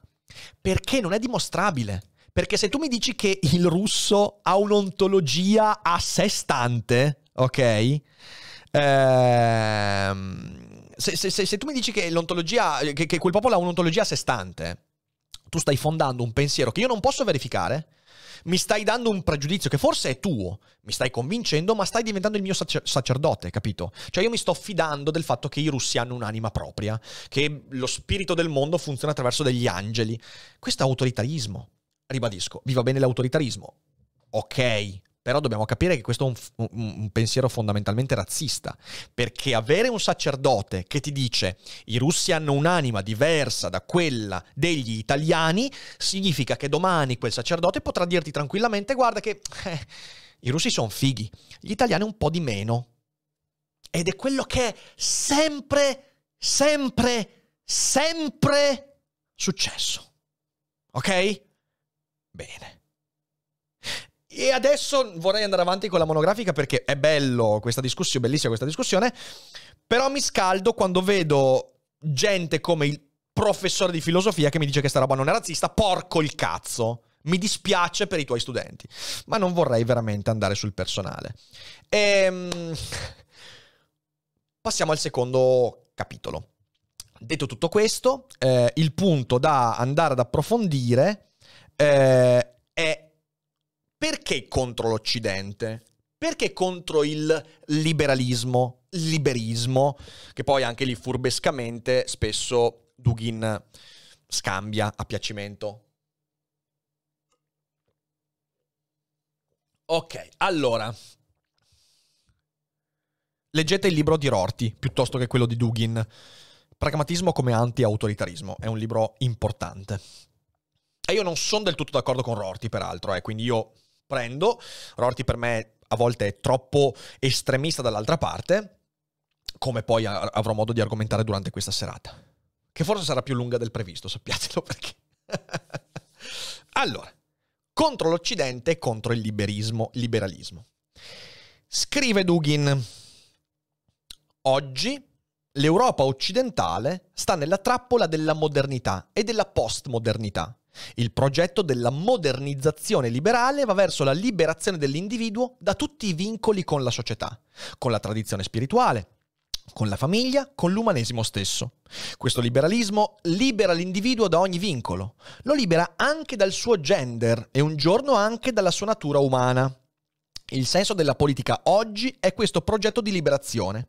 I dirigenti europei non possono arrestare questo processo, ma possono solamente continuare. Più immigrati, più femminismo, più società aperta, più gender. Questa è la linea che non si discute per le elite europee. E non possono cambiare il corso, ma più passa il tempo e più la gente si trova in disaccordo. La risposta e la reazione che cresce in Europa è che le elite vogliono fermare, demonizzandola. La realtà non corrisponde più al loro progetto e le elite europee sono ideologicamente orientate verso il liberalismo ideologico. Questo pezzo ci dice chiaramente che Diego Fusaro è un plagiatore di Alexander Dugin. Cosa posso dire su questa cosa qua? Allora, posso dire che c'è un lato di verità. E su Daily Cogito l'abbiamo discusso tantissime volte. Proprio nella puntata uscita ieri, eh, registrata ieri, uscita oggi, io ho detto chiaramente che noi abbiamo un serio problema. Il problema di starci allontanando dalla realtà, di star creando una virtualità assolutamente inaccettabile.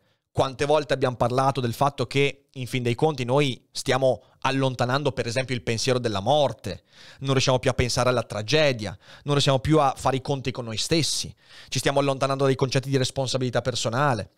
Ci sono fenomeni come il politicamente corretto, la cancel culture, tutte queste cose qua che sono odiose perché denotano una debolezza intrinseca della nostra cultura che mi spaventa, perché è da quella debolezza che poi arrivano i Dugin a gamba tesa e convincono gli stronzi del fatto che hanno ragione e trasformano il paese in un covo di razzisti timidi.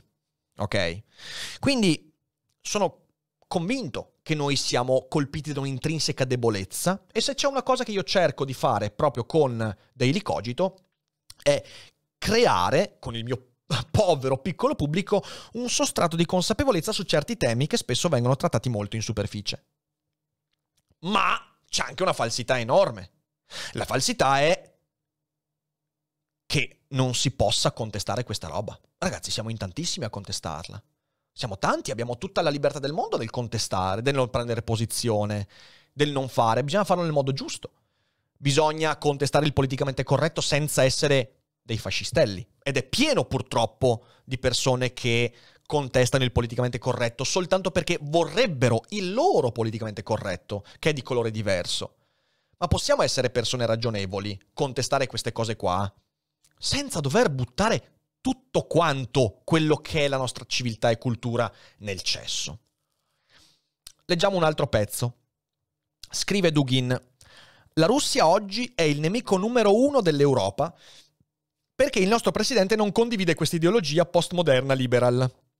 Eh, però qua devo interrompere Dugin. No, è perché il vostro presidente ammazza i dissidenti, sbatte in galera gli omosessuali, ammazza le persone, i giornalisti, le giornaliste che non sono d'accordo con lui, distrugge la libertà di stampa ed è fondamentalmente un dittatore che eh, porta invasioni e guerre illegali. Eh, no, è, è per questo. Eh. Cioè, Dugin, secondo me... Mm, però andiamo avanti.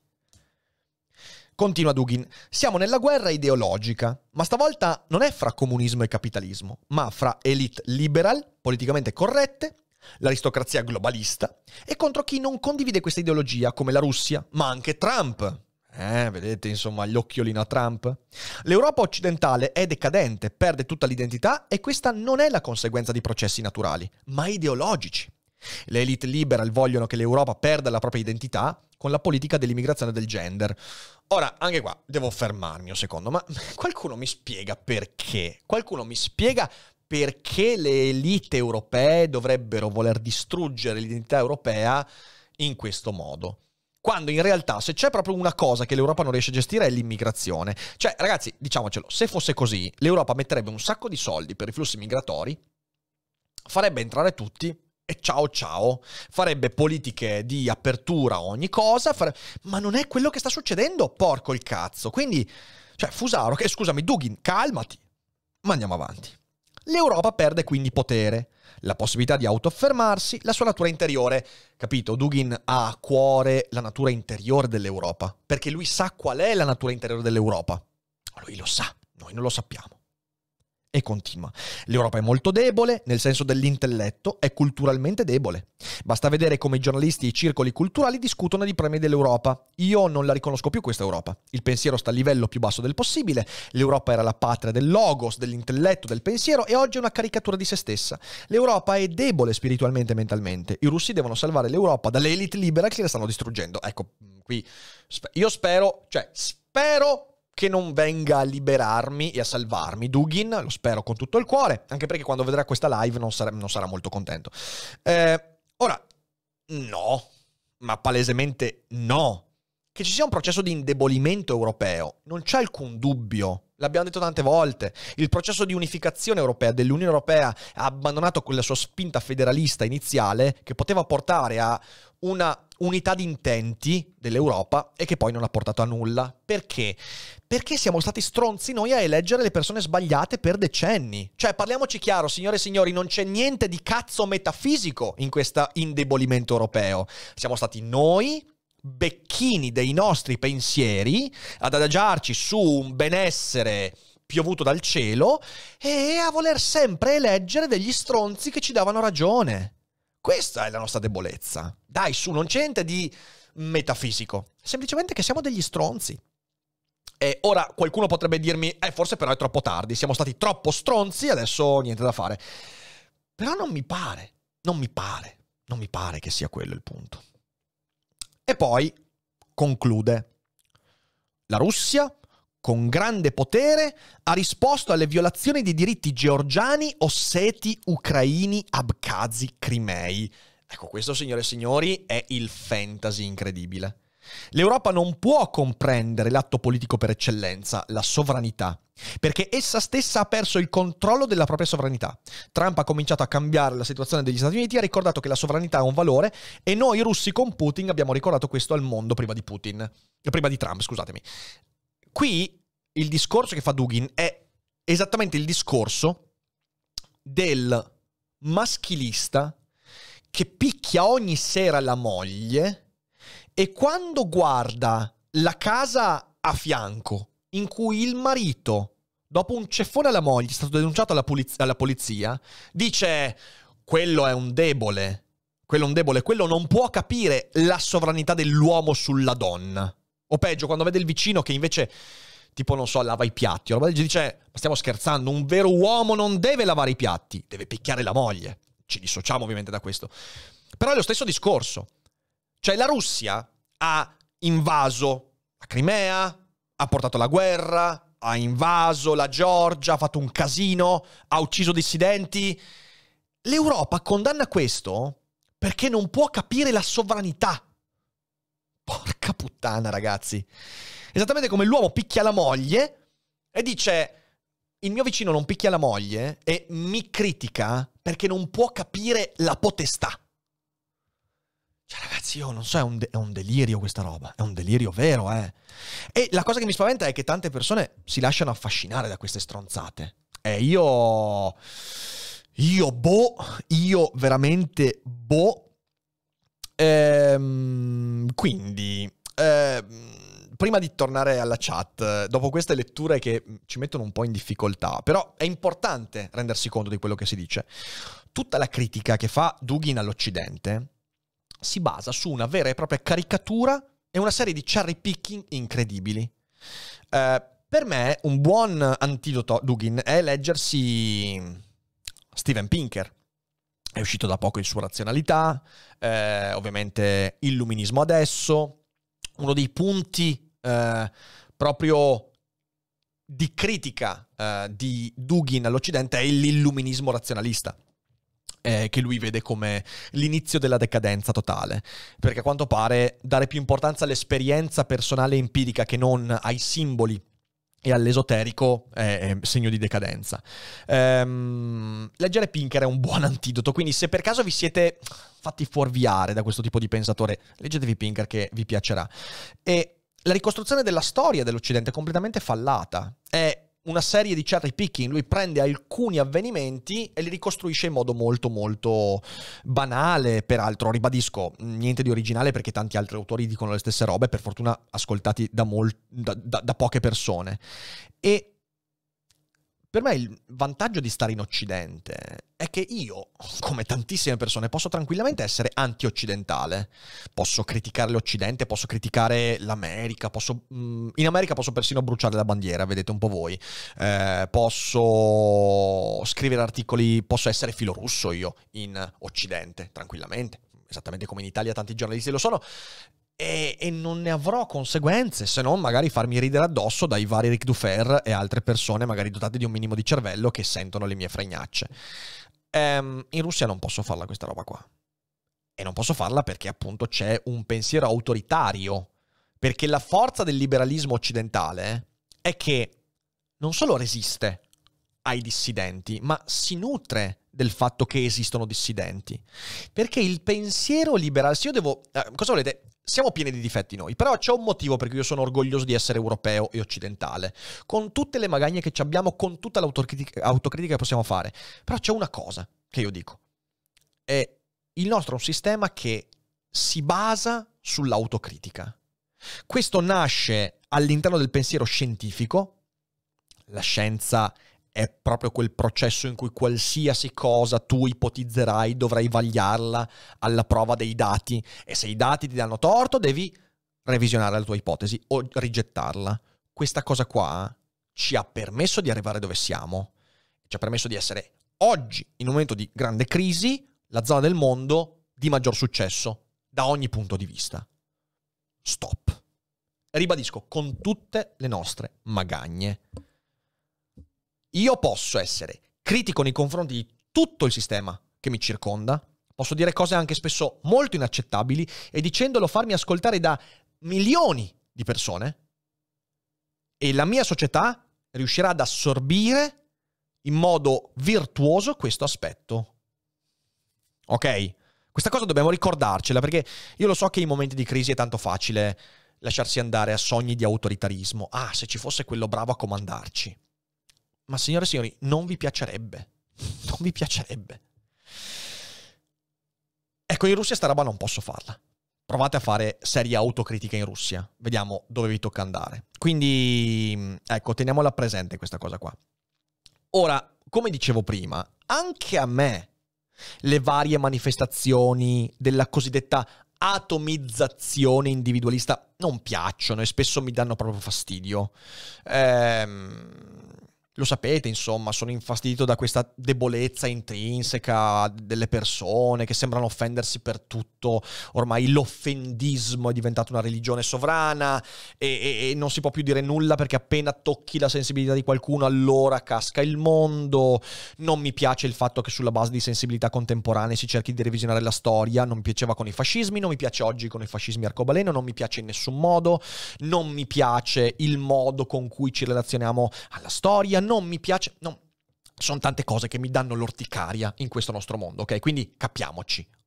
Non sto difendendo spada tratta, però non credo che la risposta sia una rinascita della centralità religiosa o ancora peggio, una caduta in un nuovo misticismo, in un esoterismo sfrenato. Non credo sia questa la risposta. Peraltro a me piace molto il fatto che in questa riscoperta della centralità religiosa, Dugin si rifaccia a Nietzsche, ma solo finché fa comodo, ok? Cita sempre quei passi in cui Nietzsche afferma che la morte di Dio è stata una tragedia, però poi non cita mai i passi in cui dice, sì, l'uomo deve andare in avanti, cioè la morte di Dio. Non è che dobbiamo tornare indietro perché abbiamo bisogno degli dei, no, deve andare in avanti. Cioè deve diventare... Invece no, lui è un conservatore quindi vuole tornare indietro, ok? Ehm... Non credo sia questa, la, non credo che un Fusaro faccia bene all'Occidente, non, non credo sia questa la strada, devo dirlo con il, la, la, la sincerità del mondo.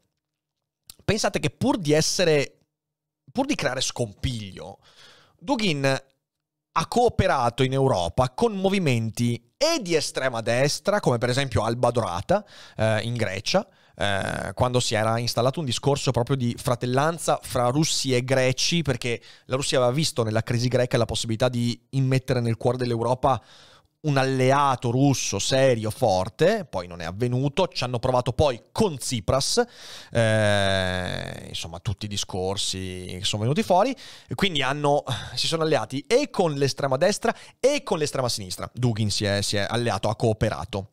Infatti anche qui quando ha fatto il tour 2019 in Italia è stato ospitato tanto da gruppi di estrema destra quanto da gruppi di estrema sinistra, quindi fantastico.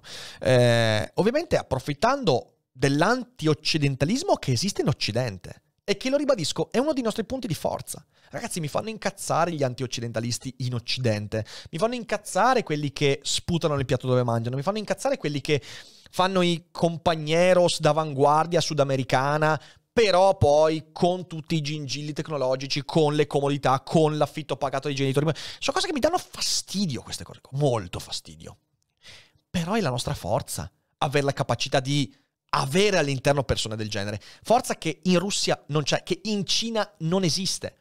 Perché la fragilità della nostra democrazia è anche la sua forza.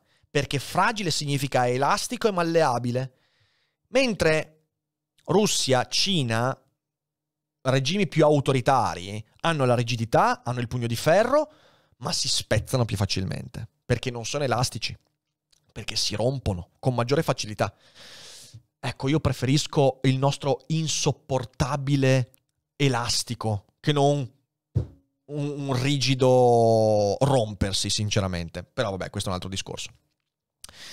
E bello, dicevo che mh, Dugin cooperi a destra, a sinistra, senza grossi problemi, basta che ci si definisca populisti, ok? Lui si definisce orgogliosamente populista, eh, mostrando in questo modo poca propensione alla coerenza, purché i suoi fini siano raggiunti. Questo è un po' quello che io vedo in questo personaggio.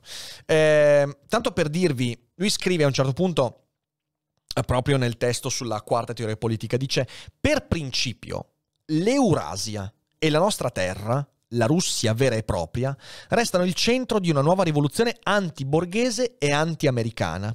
Il nuovo impero euro-asiatico sarà costruito sul principio fondamentale del nemico comune, il rigetto dell'atlantismo, strategia di dominio degli USA e il divieto di permettere ai valori liberali di dominarci. Questo impulso civilizzatore sarà la base di un'unione politica e strategica. Sapete qual è la cosa veramente bella di questa frase? È che, e questo lo si vede molto bene anche nel, nell'intervista, nel, nel dibattito con ehm, Bernard Henry Levy, a un certo punto Dugin dice, è eh, perché l'Occidente dice di avere dei valori universali, che però non sono universali, come i diritti umani, la democrazia, la libertà e via dicendo, e poi però dice che la società aperta ha dei nemici. E allora non è più una società aperta perché si fa dei nemici. Che è ovviamente una fallaccia logica assoluta. Nessuno ha mai pensato che società aperta significa includere tutti subito acriticamente. Nessuno l'ha mai detto. Perché? Perché in realtà la società aperta, basta leggere il libro di Popper, ha dei presupposti ben precisi. Cioè tu devi riconoscerti in un sistema di valori. Se non ti riconosci in quel sistema di valori, certo che sei un nemico di quei valori.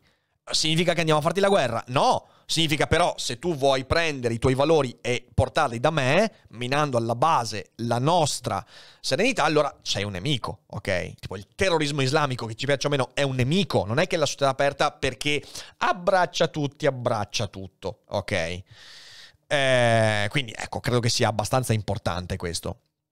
Però poi lui è il primo a dire che bisogna vietare di permettere i valori liberali. Cioè, nel senso, lui fa lo, cioè, la stessa cosa che imputa alla società aperta, poi la propugna, la propugna lui. Ed è bellissima questa cosa qua.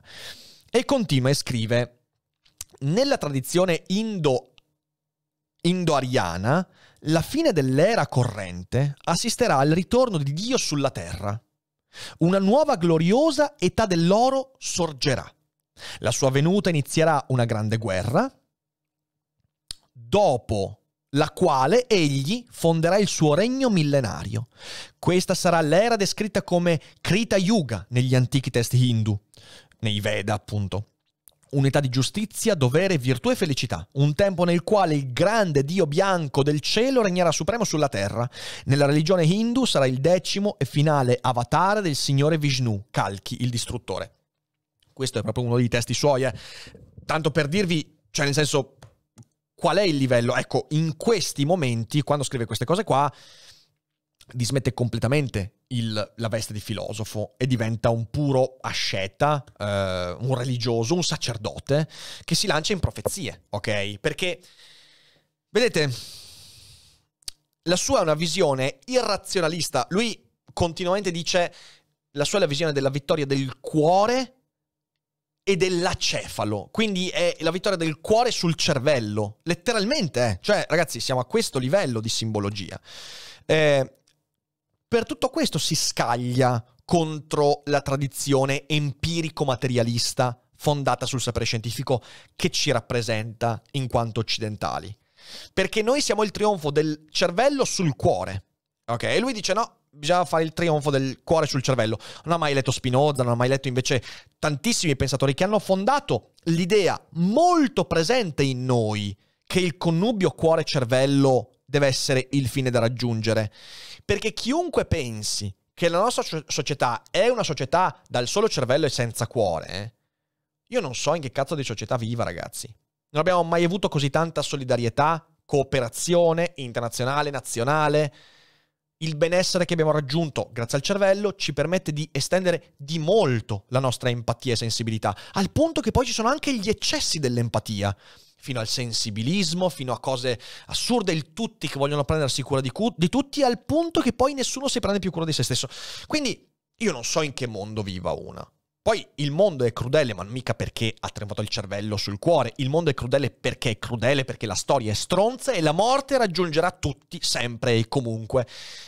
Ma in che cazzo di mondo vive uno che si convince che nel nostro mondo trionfa il cervello sul cuore? secondo me siamo a livelli di follia totale. E tutto questo designa il fatto che quella portata avanti da Dugin e che noi stiamo vedendo svilupparsi per la prima volta nella storia reale in Ucraina in questi giorni, è letteralmente una guerra religiosa. È proprio il termine giusto religiosa.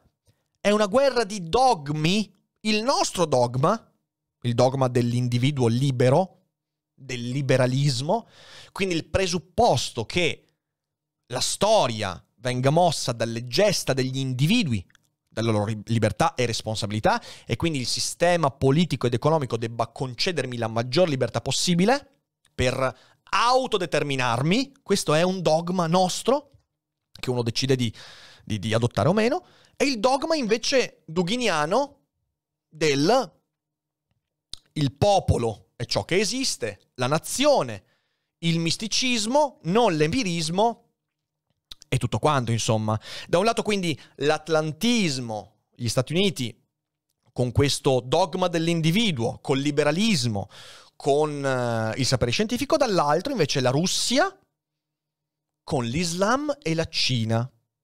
Perché Dugin nei suoi scritti quando parla del partito eurasiatico, parla di un'alleanza di convenienza, ma comunque sentita, fra il mondo russo, quello islamico, che Dugin vede come parte integrante del progetto eurasiatico, e quello cinese, di cui vede insomma il rifiuto della democrazia come cosa positiva. All'interno di tutto questo, una montagna di interpretazioni e utilizzi fantasiosi ideologici di pensatori come Jung, per esempio. Perché, vedete, lì, mh, mm, e poi passo alla chat, eh, si reinstalla il discorso fatto con Michele Boldrin qualche giorno fa, nell'ultima puntata.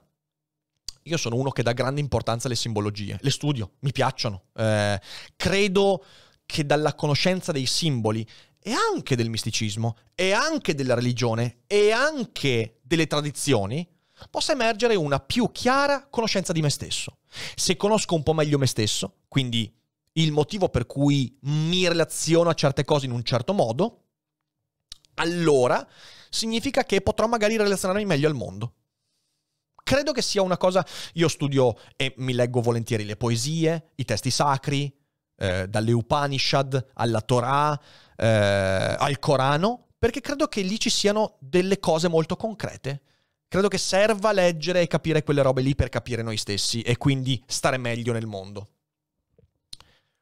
Però non mi sognerei mai di dire che questo tipo di conoscenze abbia un impatto politico, o meglio, che io possa usare quelle conoscenze per persuadere gli altri che le mie interpretazioni intorno a problemi così esili ed effimeri significhi avere una visione del mondo politica o addirittura globale, universale. L'idea di abbracciare Jung, i Veda, la simbologia, Meister Eckhart, la Bibbia, per abbandonare l'empirismo, l'individualità materialista, non materialista nel senso superficiale, ma nel senso che, che guarda le cose concrete, il sapere scientifico, il sapere sperimentale, il metodo di pensiero, il pragmatismo, per me è una follia. Cioè l'idea di abbandonare il primo, il secondo mondo per il primo Per me è un suicidio. Io ve lo dico, è un suicidio. Posso capire perché un russo sviluppi questo pensiero, perché è una partic- tradizione particolare, perché la Russia è venuta fuori da una da, da, da, un settantennio di delirio, prima con la dittatura sovietica e adesso con Putin e le crisi economiche e via dicendo, ha una traduzione molto molto precisa, che è una tradizione anche di ambito slavo, eh, che la filosofia di quel genere è andata in direzioni diverse, che ha sempre ha mantenuto un grande collante con lo spiritismo e con il neopaganesimo, sì, posso capire quindi perché, ma mi manda in bestia sapere che ci sono tanti occidentali i quali hanno vissuto sotto l'incredibile vantaggio di eh, avere un mondo basato sull'empirismo, sulla comprensione scientifica del mondo e voler abbandonare questo per quel mondo lì. Questa roba qua rimarrà per me un mistero incredibile.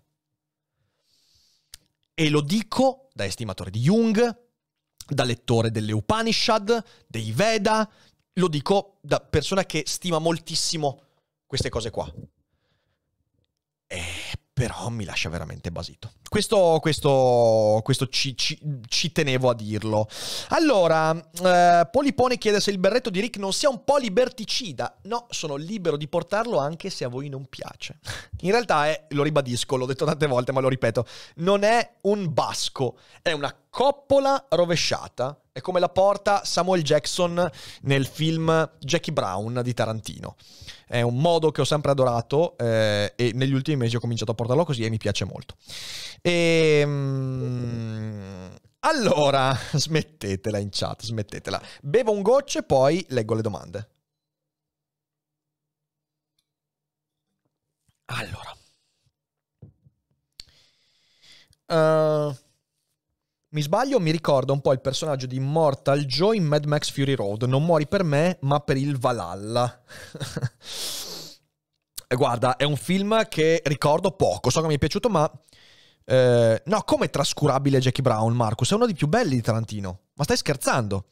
È un film bellissimo, con alcuni dei personaggi più significativi di Tarantino. Riguardalo, te lo ricordi male.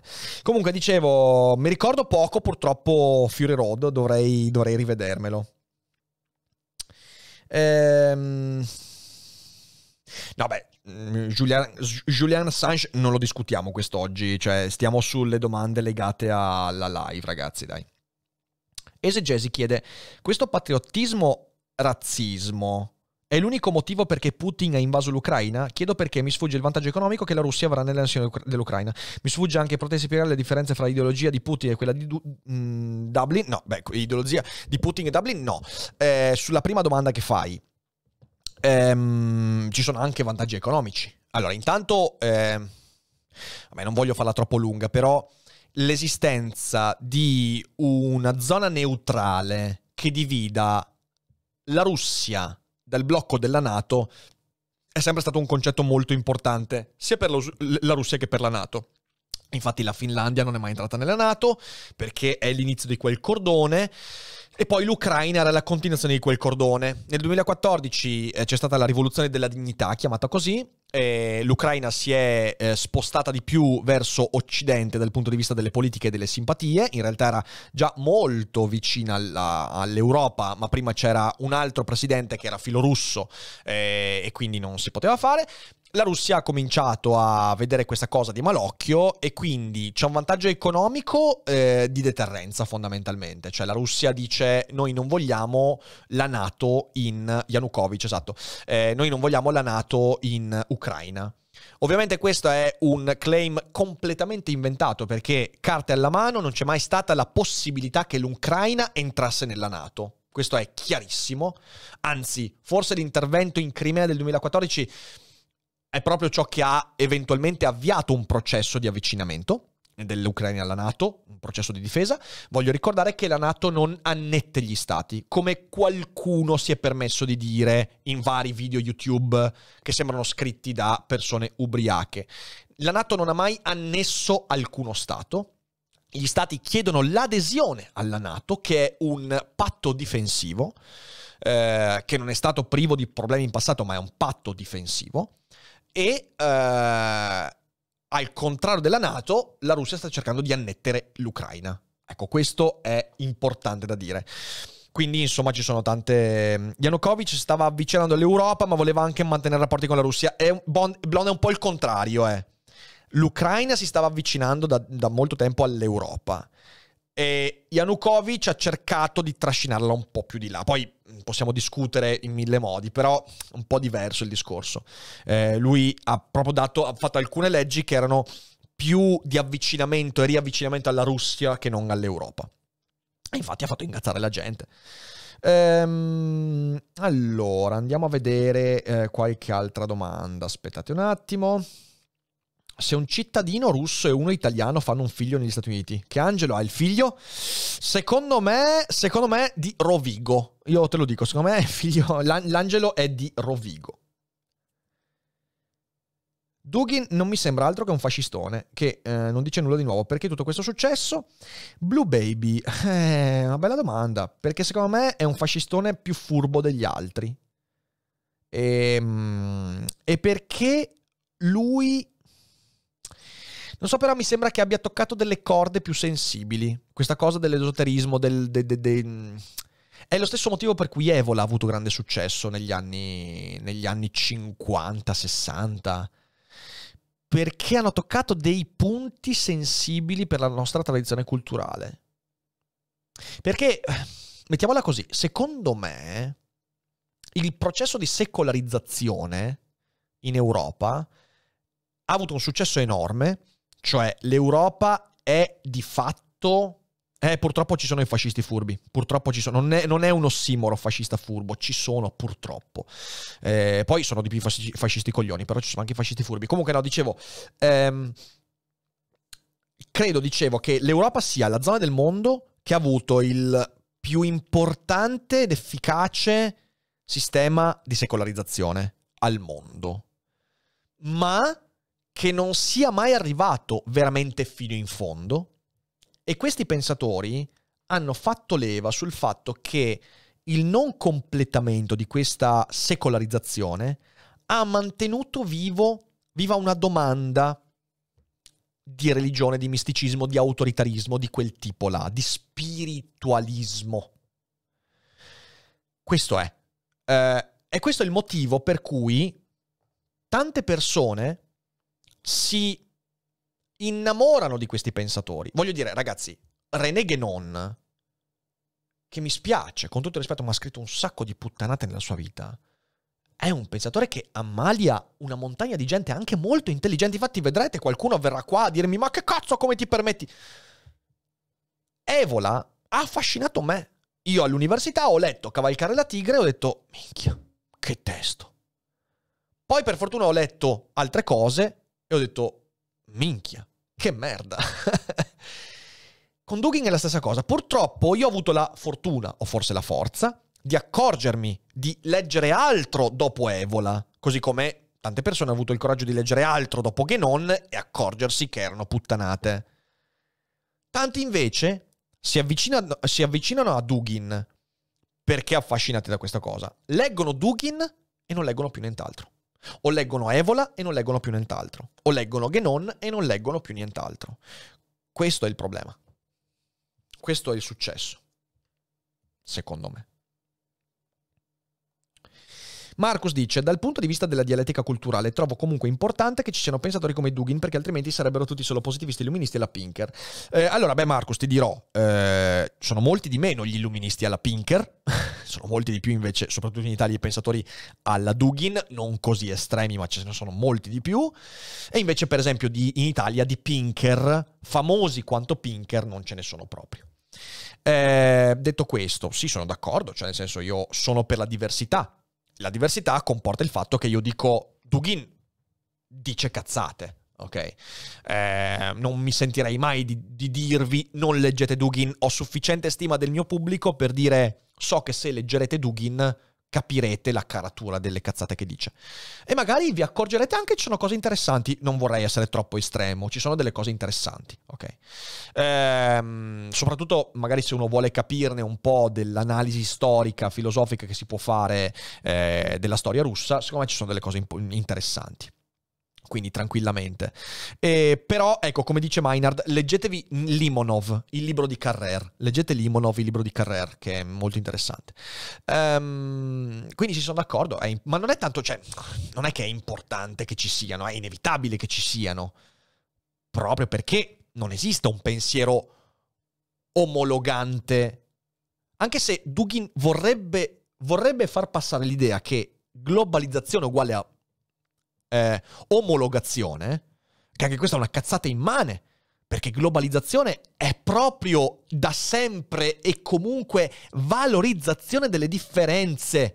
Globalizzazione, io questa cosa la voglio dire una volta per tutte, globalizzazione non è mai stato l'idea del pensiero unico fusariano, dughiniano, che tutti la pensano uguale. Ragazzi, ma dove, in quale fottuta globalizzazione viviamo?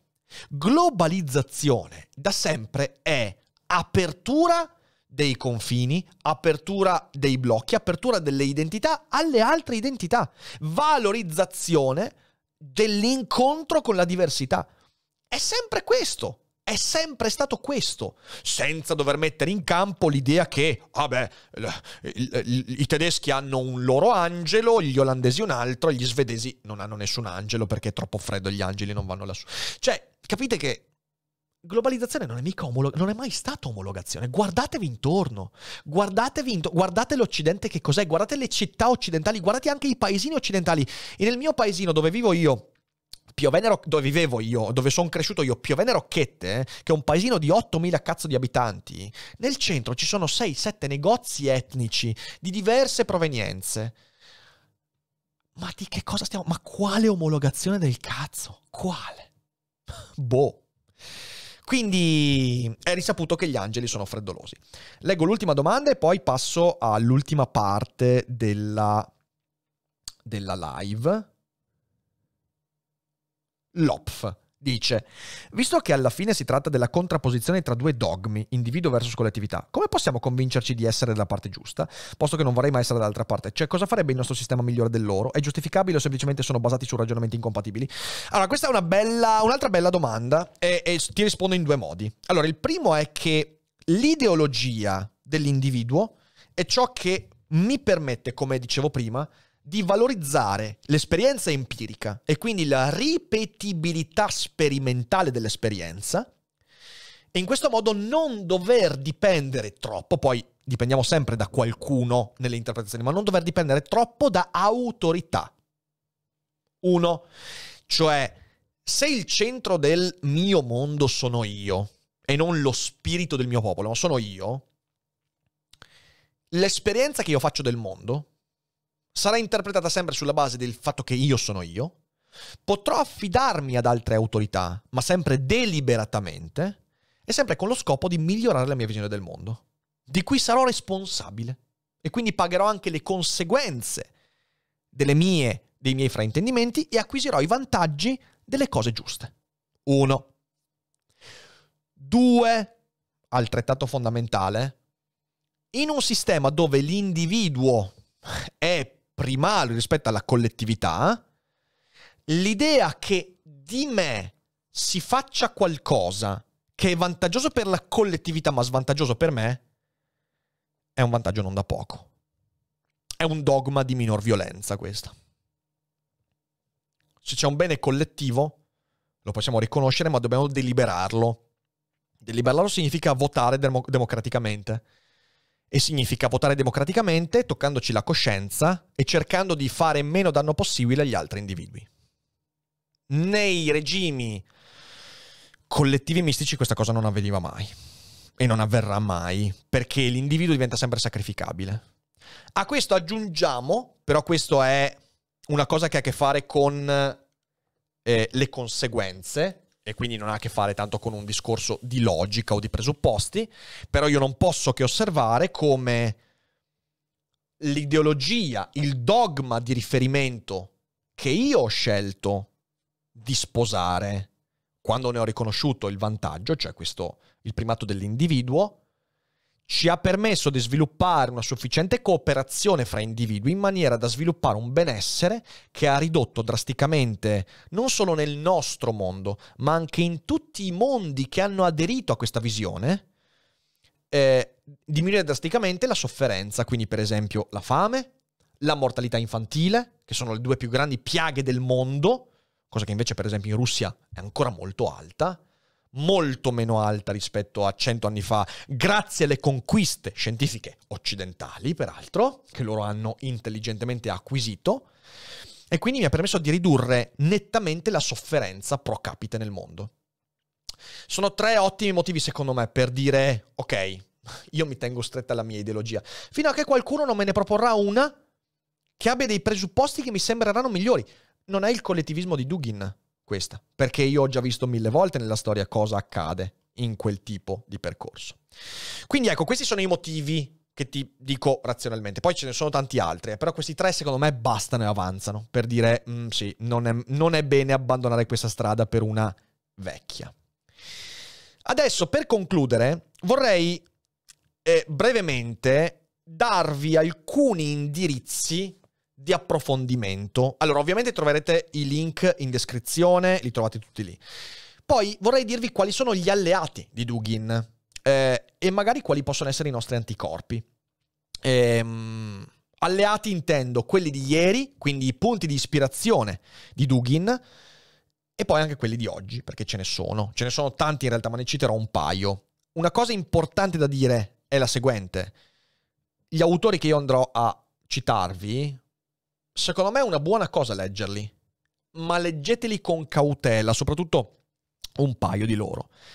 Perché proprio come Dugin sono consapevoli del tasto che vanno a toccare e delle sensibilità che possono smuovere. Quindi andateci cauti, soprattutto col primo, che ho già citato, è Julius Evola. Ora Evola è un filosofo italiano che molto demonizzato, molto ostracizzato. Io l'ho letto, io ho letto quasi tutti i suoi libri principali, Gli uomini e le rovine, Cavalcare la tigra, la tigre, scusatemi, Rivolta contro il mondo moderno e altri 3-4. Sono, sono dei libri, devo dire, Evola è un autore piacevole da leggere, nel senso stilistico, è uno di quegli autori aristocratici che hanno una scrittura che mi ricorda molto Nietzsche, quindi piacevole da leggere.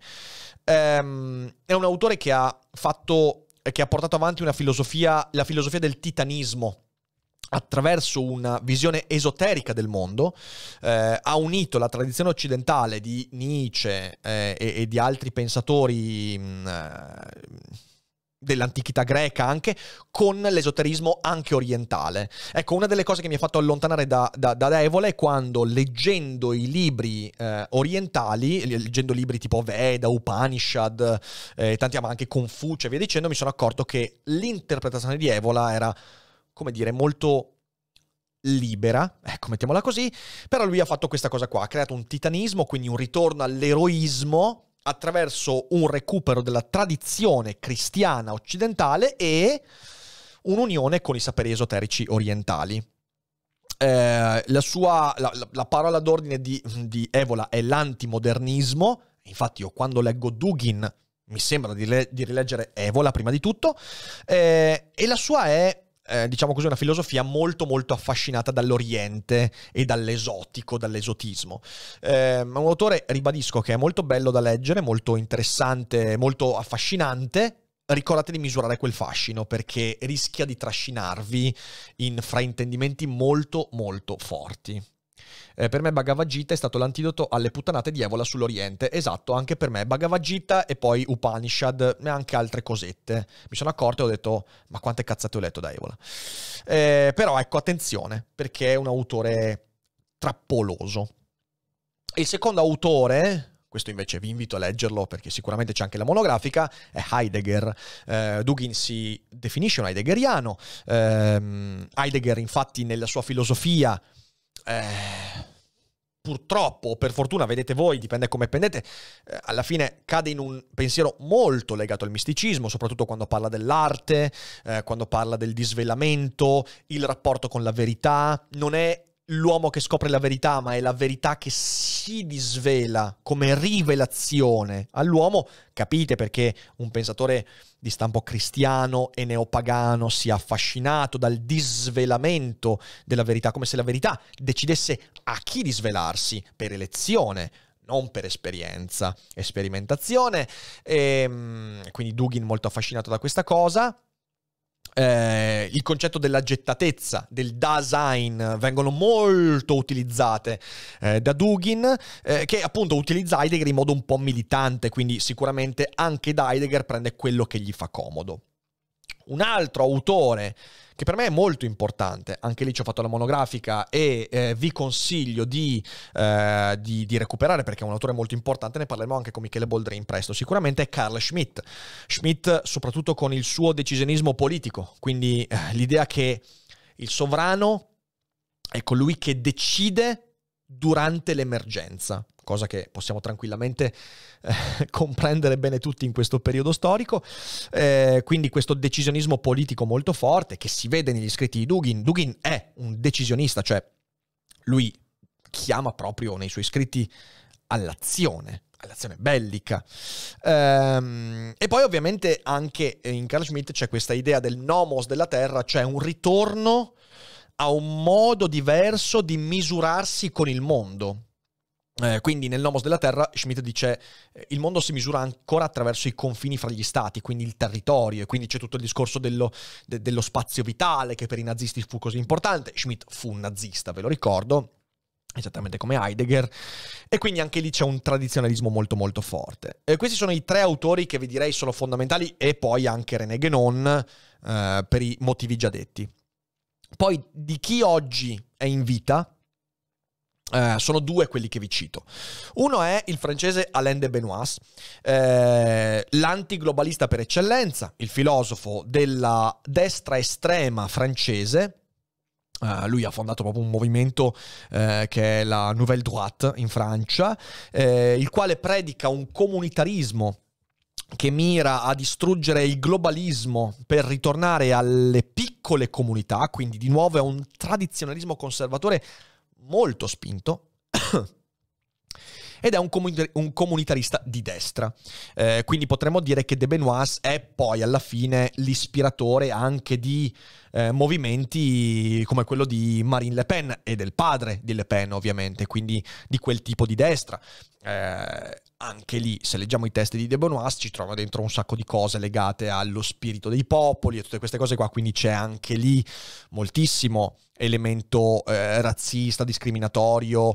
E, ehm, è un autore che va preso con le pinze De Benoist. Sicuramente interessante, molto molto interessante da ascoltare e leggere. Andateci cauti perché è un altro autore che va preso con le pinze e sempre controbilanciato perché ha delle idee molto molto estreme. E poi l'ultimo è, eh, che io vi ho promesso che ne farò un approfondimento prima o poi, è Nick Land Nick Land, autore americano, eh, il fondatore dell'accelerazionismo, come alcuni lo dicono, e quindi l'accelerazionismo, l'idea che la trasformazione sociale sia in un corso inarrestabile verso il suo e disfacimento e trasformazione. Nick Land è un antidemocratico proprio per eccellenza, anzi praticamente è un monarchico. Ehm la sua idea più vicina a quella di Dugin è che eh, l'illuminismo razionalista sia fallito completamente, infatti il suo libro più importante si intitola L'illuminismo oscuro. È un altro folle, Nick Land è un folle letteralmente, che dice cose sicuramente interessanti che dovrebbero fare riflettere. Ed è interessante perché partendo da presupposti diversi da quelli di Dugin, eh, è un anti-autoritario, eh, Land, a differenza di Dugin che invece è uno che vuole lo Stato forte ha una visione molto diversa della tecnologia, però comunque i presupposti sono gli stessi. È un alleato di Dugin perché il suo attacco alla democrazia liberale è fortissimo tanto quanto quello di Dugin. E poi c'è questa, questa vena apocalittica eh, che anche in Dugin si trova continuamente. Quali sono i nostri anticorpi a tutto questo? Perché io so da che parte stare, ok? Cioè io sto dalla parte dell'Ucraina in questo momento e dell'Europa perché ho capito i presupposti dell'attacco che Putin sta portando all'Occidente. Eh, e spero questa sera di avervi portato almeno un, un, un, un, tappeto di argomenti su cui basare la vostra comprensione. Quindi io ho deciso dove stare, prima filosoficamente che non materialmente politicamente. E io credo che il nostro anticorpo sia il renderci conto di quello che stiamo a rappresentare con le nostre discussioni. con quello che facciamo, che stiamo rappresentando dei valori per il semplice fatto di star qui a discutere nell'accordo e nel disaccordo le idee, i presupposti, cosa che in altri contesti filosofici sarebbe impossibile. Quindi una seria critica alla nostra civiltà serve e dobbiamo farla e io cerco di farla il più possibile. Ma seria critica ricordandoci che non stiamo buttando via i presupposti che ci permettono di fare quella critica. Quindi una seria critica che superi le impasse del nostro presente, che è un presente di debolezza, di incertezza, ma una critica a me, prima che ai valori, al modo con cui io costituisco i miei valori. Quindi senza dover fare tabula rasa. È facile farsi, farsi affascinare dal cosiddetto cambio di paradigma. Ah, se cambiamo paradigma è come se tutto tornasse nell'Eden e invece non è così. Non è così. Noi viviamo un grande paradigma politico, economico e abbiamo tutte le possibilità per migliorare col nostro apporto quello che stiamo vivendo, senza doversi, doverci far convincere da ideologi o ideologhi o ideologhe di, di qualsiasi risma. Eh, credo che sia questa nostra, il nostro anticorpo e basarci sulla stima che abbiamo dei presupposti della nostra civiltà. Questo è. Perché, fin dei conti, e questo lo posso dire senza lanciarmi in previsioni, quello che stiamo vivendo in Ucraina è prima di tutto uno scontro di diverse visioni del mondo. Che ci piaccia o meno, ci siamo dentro. Da che parte stiamo? Spero in questa serata di aver portato qualche ragionamento utile a farvi fare una scelta. Una scelta, come dire, una scelta più consapevole. Ecco tutto. Uh, ma quanto ho parlato? Ma quanto è durata sta live? Cazzo, tantissimo. Bevo, rispondo a qualche domanda e poi stacco perché sono finito. Allora. Ehm, ma che sondaggio avete fatto? Il cappello di Rick è una coppola al contrario, un basco Cesare.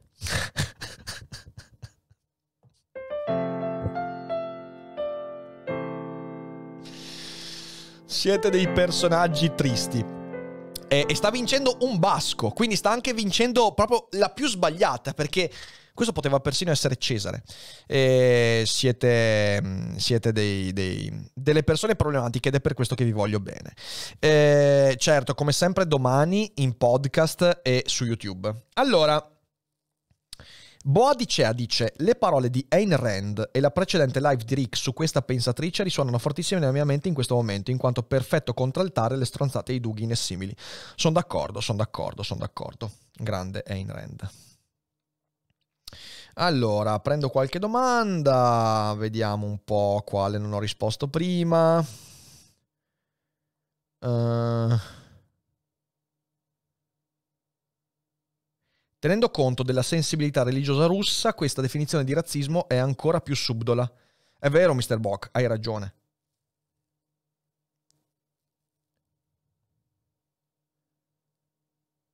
Quanto pensi sia influente la conoscenza personale che ha con Putin nell'adesione di quest'ultimo ha dato le idee di Dugin? Beh no, non so dirti questo Federico, sinceramente no.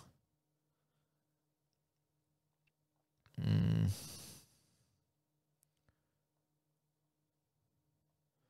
Le altre mi sembra di aver risposto a tutte, mi sembra di aver risposto a tutte le altre domande, quindi credo che ci siamo ragazzi.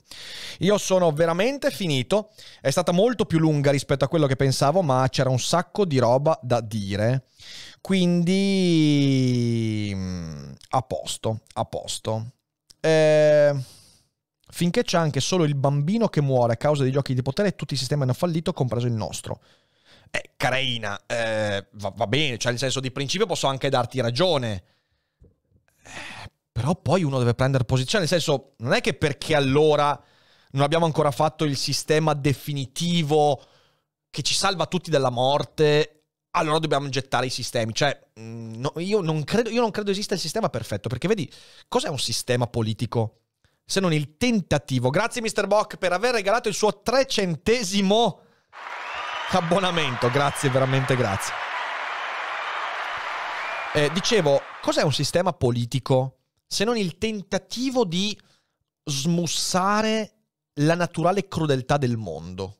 O più che crudeltà, crudezza del mondo. Il mondo è crudo. Il mondo è ingiusto. Il mondo è diseguale. Perché il mondo funziona attraverso i meccanismi di selezione. E la selezione è crudele. La selezione uccide i bambini, fa scomparire cose belle che ci piacciono. Cos'è la cultura se non il tentativo di smussare questa crudezza? In questo senso, il sistema politico perfetto non esiste perché il sistema politico sarà sempre un'approssimazione che si incastra più o meno in questa crudezza. Ci sono sistemi che smussano discretamente bene quella crudezza e secondo la mia visione, e per quello dico leggete Pinker, leggete Hans Rosling, il nostro sistema politico-economico è quello che fino a questo momento storico, secondo me, ha smussato meglio la crudezza del mondo. Ci sono altri sistemi che o smussano molto male quella crudezza, penso al, al sistema comunista. Il comunismo ha eh, la, la, l'idea di smussare le ingiustizie e la crudezza del mondo, ma l'ha fatto molto molto male, in ogni ambito sia stato applicato. A volte addirittura cerca di accelerare quella crudezza, come il sistema nazista, che voleva fare la guerra per dare un'accelerazione, come per velocizzare la scomparsa di alcune creature, per poi smussare. Capite? In questo senso non esiste il sistema perfetto. Eh, però credo che sia, sia questa la, la, risposta. L'unico sistema perfetto è quello che viene chiamato stato di natura, ma è quello che si arrende alla crudezza del mondo e decide di aderirvi completamente, non è quella la strada. Quindi sì, è vero che ci sono dei problemi, è vero che il nostro sistema è imperfetto, è anche vero che finora è il sistema che ha fatto meno danni, secondo me, e anche secondo i numeri che abbiamo a disposizione. Ehm... E basta, e basta, e basta. Allora, signore e signori, eh, io direi che ci siamo per davvero. Eh, andiamo a fare un ride. Beh, c'è in live Adriana Cecic. E come non andare a fare un ride ad Adriana Cecic alla fine della live su Alexandr Dugin? Perché è l'unico modo per sopportare tutte le puttanate che abbiamo letto questa sera. ovviamente. Quindi andiamo a fare un ride ad Adriana Cecic. Le scriviamo in chat Go to the Cogito Studios. e noi, signore e signori, ci vediamo eh, domani alle 12 con eh, il nostro feed. E c'è già il sondaggio su Telegram per decidere di cosa parlare. E io vi ringrazio tanto per essere stati con me. E buona serata. E non dimenticate mai che non è tutto noia ciò che pensa. Ciao.